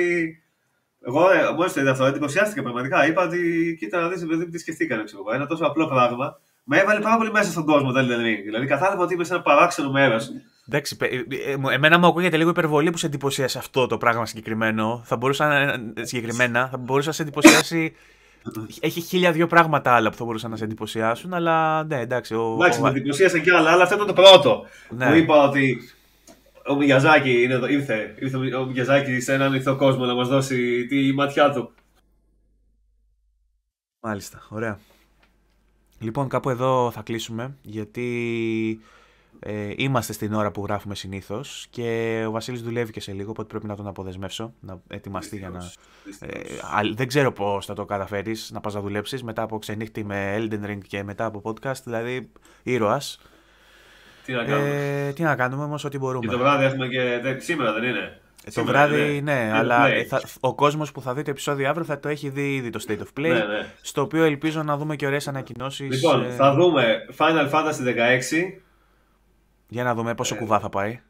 Για πες και εσύ κανένα. Final Fantasy Ε, Ghostwire. Λένε, λένε, εγώ έχω πει ότι Ghostwire είναι σιγουράκι Σίγουρα. και περιμένω να δούμε και κάνα update από τύπου Stray και τέτοια από αυτά που μας έχουν δείξει πριν πάρα πολύ Εντάξει. καιρό. Το Ε, μόνο που. το θα μόνο είναι- σίγουρο λένε Hogwarts. Το μόνο σίγουρο λένε. Α, ναι. Εγώ δεν έχω δει καθόλου προβλέψεις. Εγώ αυτό που θέλω να δω φυσικά είναι το remake part 2. Αλλά μάλλον ποτέ δεν θα δούμε αυτό. Οπότε δεν, πλέον δεν ελπίζω καν. Το 16 το ελπίζω περισσότερο να δω. Ναι. Εφόσον είναι τέτοιο. Ε, Επίσης, ε, σαν, Εγώ, σαν ε, Hill, ε. Εντάξει καλά. Εγώ εύχομαι να δω ανακοίνωση τουλάχιστον Persona 6, αλλά δεν. Silent Hill Ε, θα δούμε. Έχει πει... Βγήκε, α- βγήκε τώρα μια φήμη ότι αγόρασε τα δικαιώματα. Καλά, εντάξει, το από βγήκε, την βγήκε Konami. τώρα βγήκε μια φήμη για το Silent Hill. Είναι σαν να μου λες ότι. Ε, Ναι, βγήκε άλλη να σου πω. μια φήμη για το Silent Hill. Είναι, είναι σαν εκείνα τα νέα σίγησε αθόρυβα ο αστυνομικός στην κλινική. Αυτό που, που παίζει κάθε μέρα, ξέρω εγώ, για, για νέο. Κάποια Ε, στιγμή δεν θα δούμε Silent Hill. Σήμερα μπορεί να είναι. Α, χθες δηλαδή. Τι να σου πω. Μπορεί τώρα Πάντως, αυτοί που βλέπουν το podcast να έχουν δει αυτή τη στιγμή το νέο Silent Hill. Και αυτό, είναι, και αυτό είναι μαγικό, αλλά είναι κάτι που θα, θα, μπορούσε, θα, το, θα μπορούσε να το βάλει ως high fantasy ο Miyazaki στο επόμενο παιχνίδι, ότι ναι. υπάρχει Silent Hill σε αυτόν τον κόσμο. Ε, πάντως η Atlus, επειδή έχει κλείσει τα 25-20 πόσα χρόνια τέλος πάντων, ε, έχει πει ότι θα κάνει παρουσιάσεις και ότι θα βγάλει καινούργια πράγματα και εφημολογείται έντονα για το Persona 6. Ωστόσο, έρχεται τώρα σύντομα και η κυκλοφορία του Arena του Persona, οπότε ό,τι φήμες μπορεί να υπάρχουν ότι ίσως δείξουν κάποιο τρέιλερ, ίσως να μην είναι δηλαδή για το Persona το 6, αλλά να είναι κάποιο teaser ή κάποιο launch trailer φάση για το Persona το Arena. Θα ήθελα πολύ βέβαια να δω την ανακοίνωση του 6 γιατί είναι το αγαπημένο μου παιχνίδι, αλλά τέλος πάντων. Είχε ένα τίτλο σε είδηση. Ε, η επόμενη State of Play της Sony θα μπορούσε να δείξει το Final Fantasy 16. Ίσως, μάλλον όχι. Έγραψε το τίτλο. Maybe, probably not. Αυτό ισχύει και μπορείς να βάλεις αντί για Final Fantasy 16 πολλά παιχνίδια.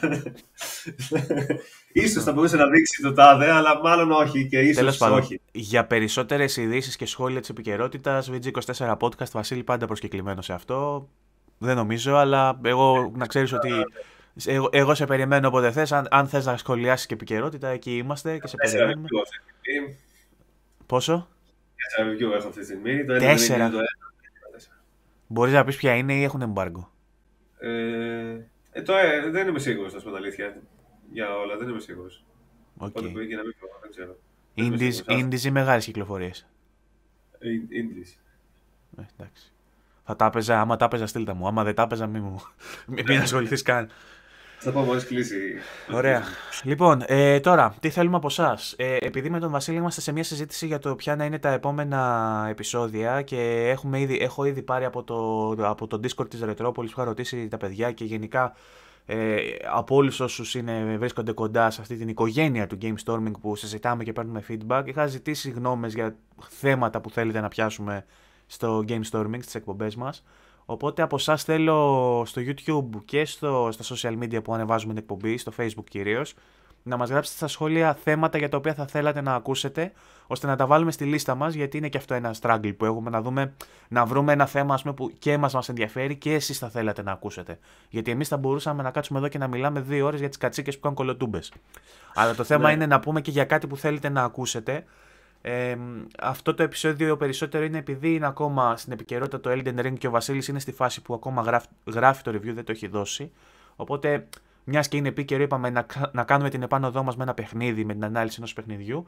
Σκοπεύουμε βέβαια να το γυρίσουμε σε πιο γενικά θέματα σε σχέση με το gaming, οπότε δώστε και εσείς τις ιδέες σας για να βγάλουμε ένα πρόγραμμα και να συνεχίσουμε με τις εκπομπές αυτές που συνήθως θα τις βλέπετε πέμπτη να ανεβαίνουν. Στοχεύουμε για το εβδομαδιαίο, μια φορά τη βδομάδα. Τώρα, αν κάποια εβδομάδα δεν μας δείτε, μην τρομάξετε, θα είμαστε εδώ now and then ε, συνήθως πέμπτες, 10 η ώρα το πρωί και κάθε Δευτέρα, σταθερά εκεί, εγγύηση, κάθε Δευτέρα όμως, ε, VG24 Podcast. Ε, υπενθυμίζω μπορείτε να μας ακούτε και σε Spotify, ε, μέσω του Anchor σε Google Podcast και Apple Podcast, σε όλες τις πλατφόρμες που εκπέμπει το Anchor.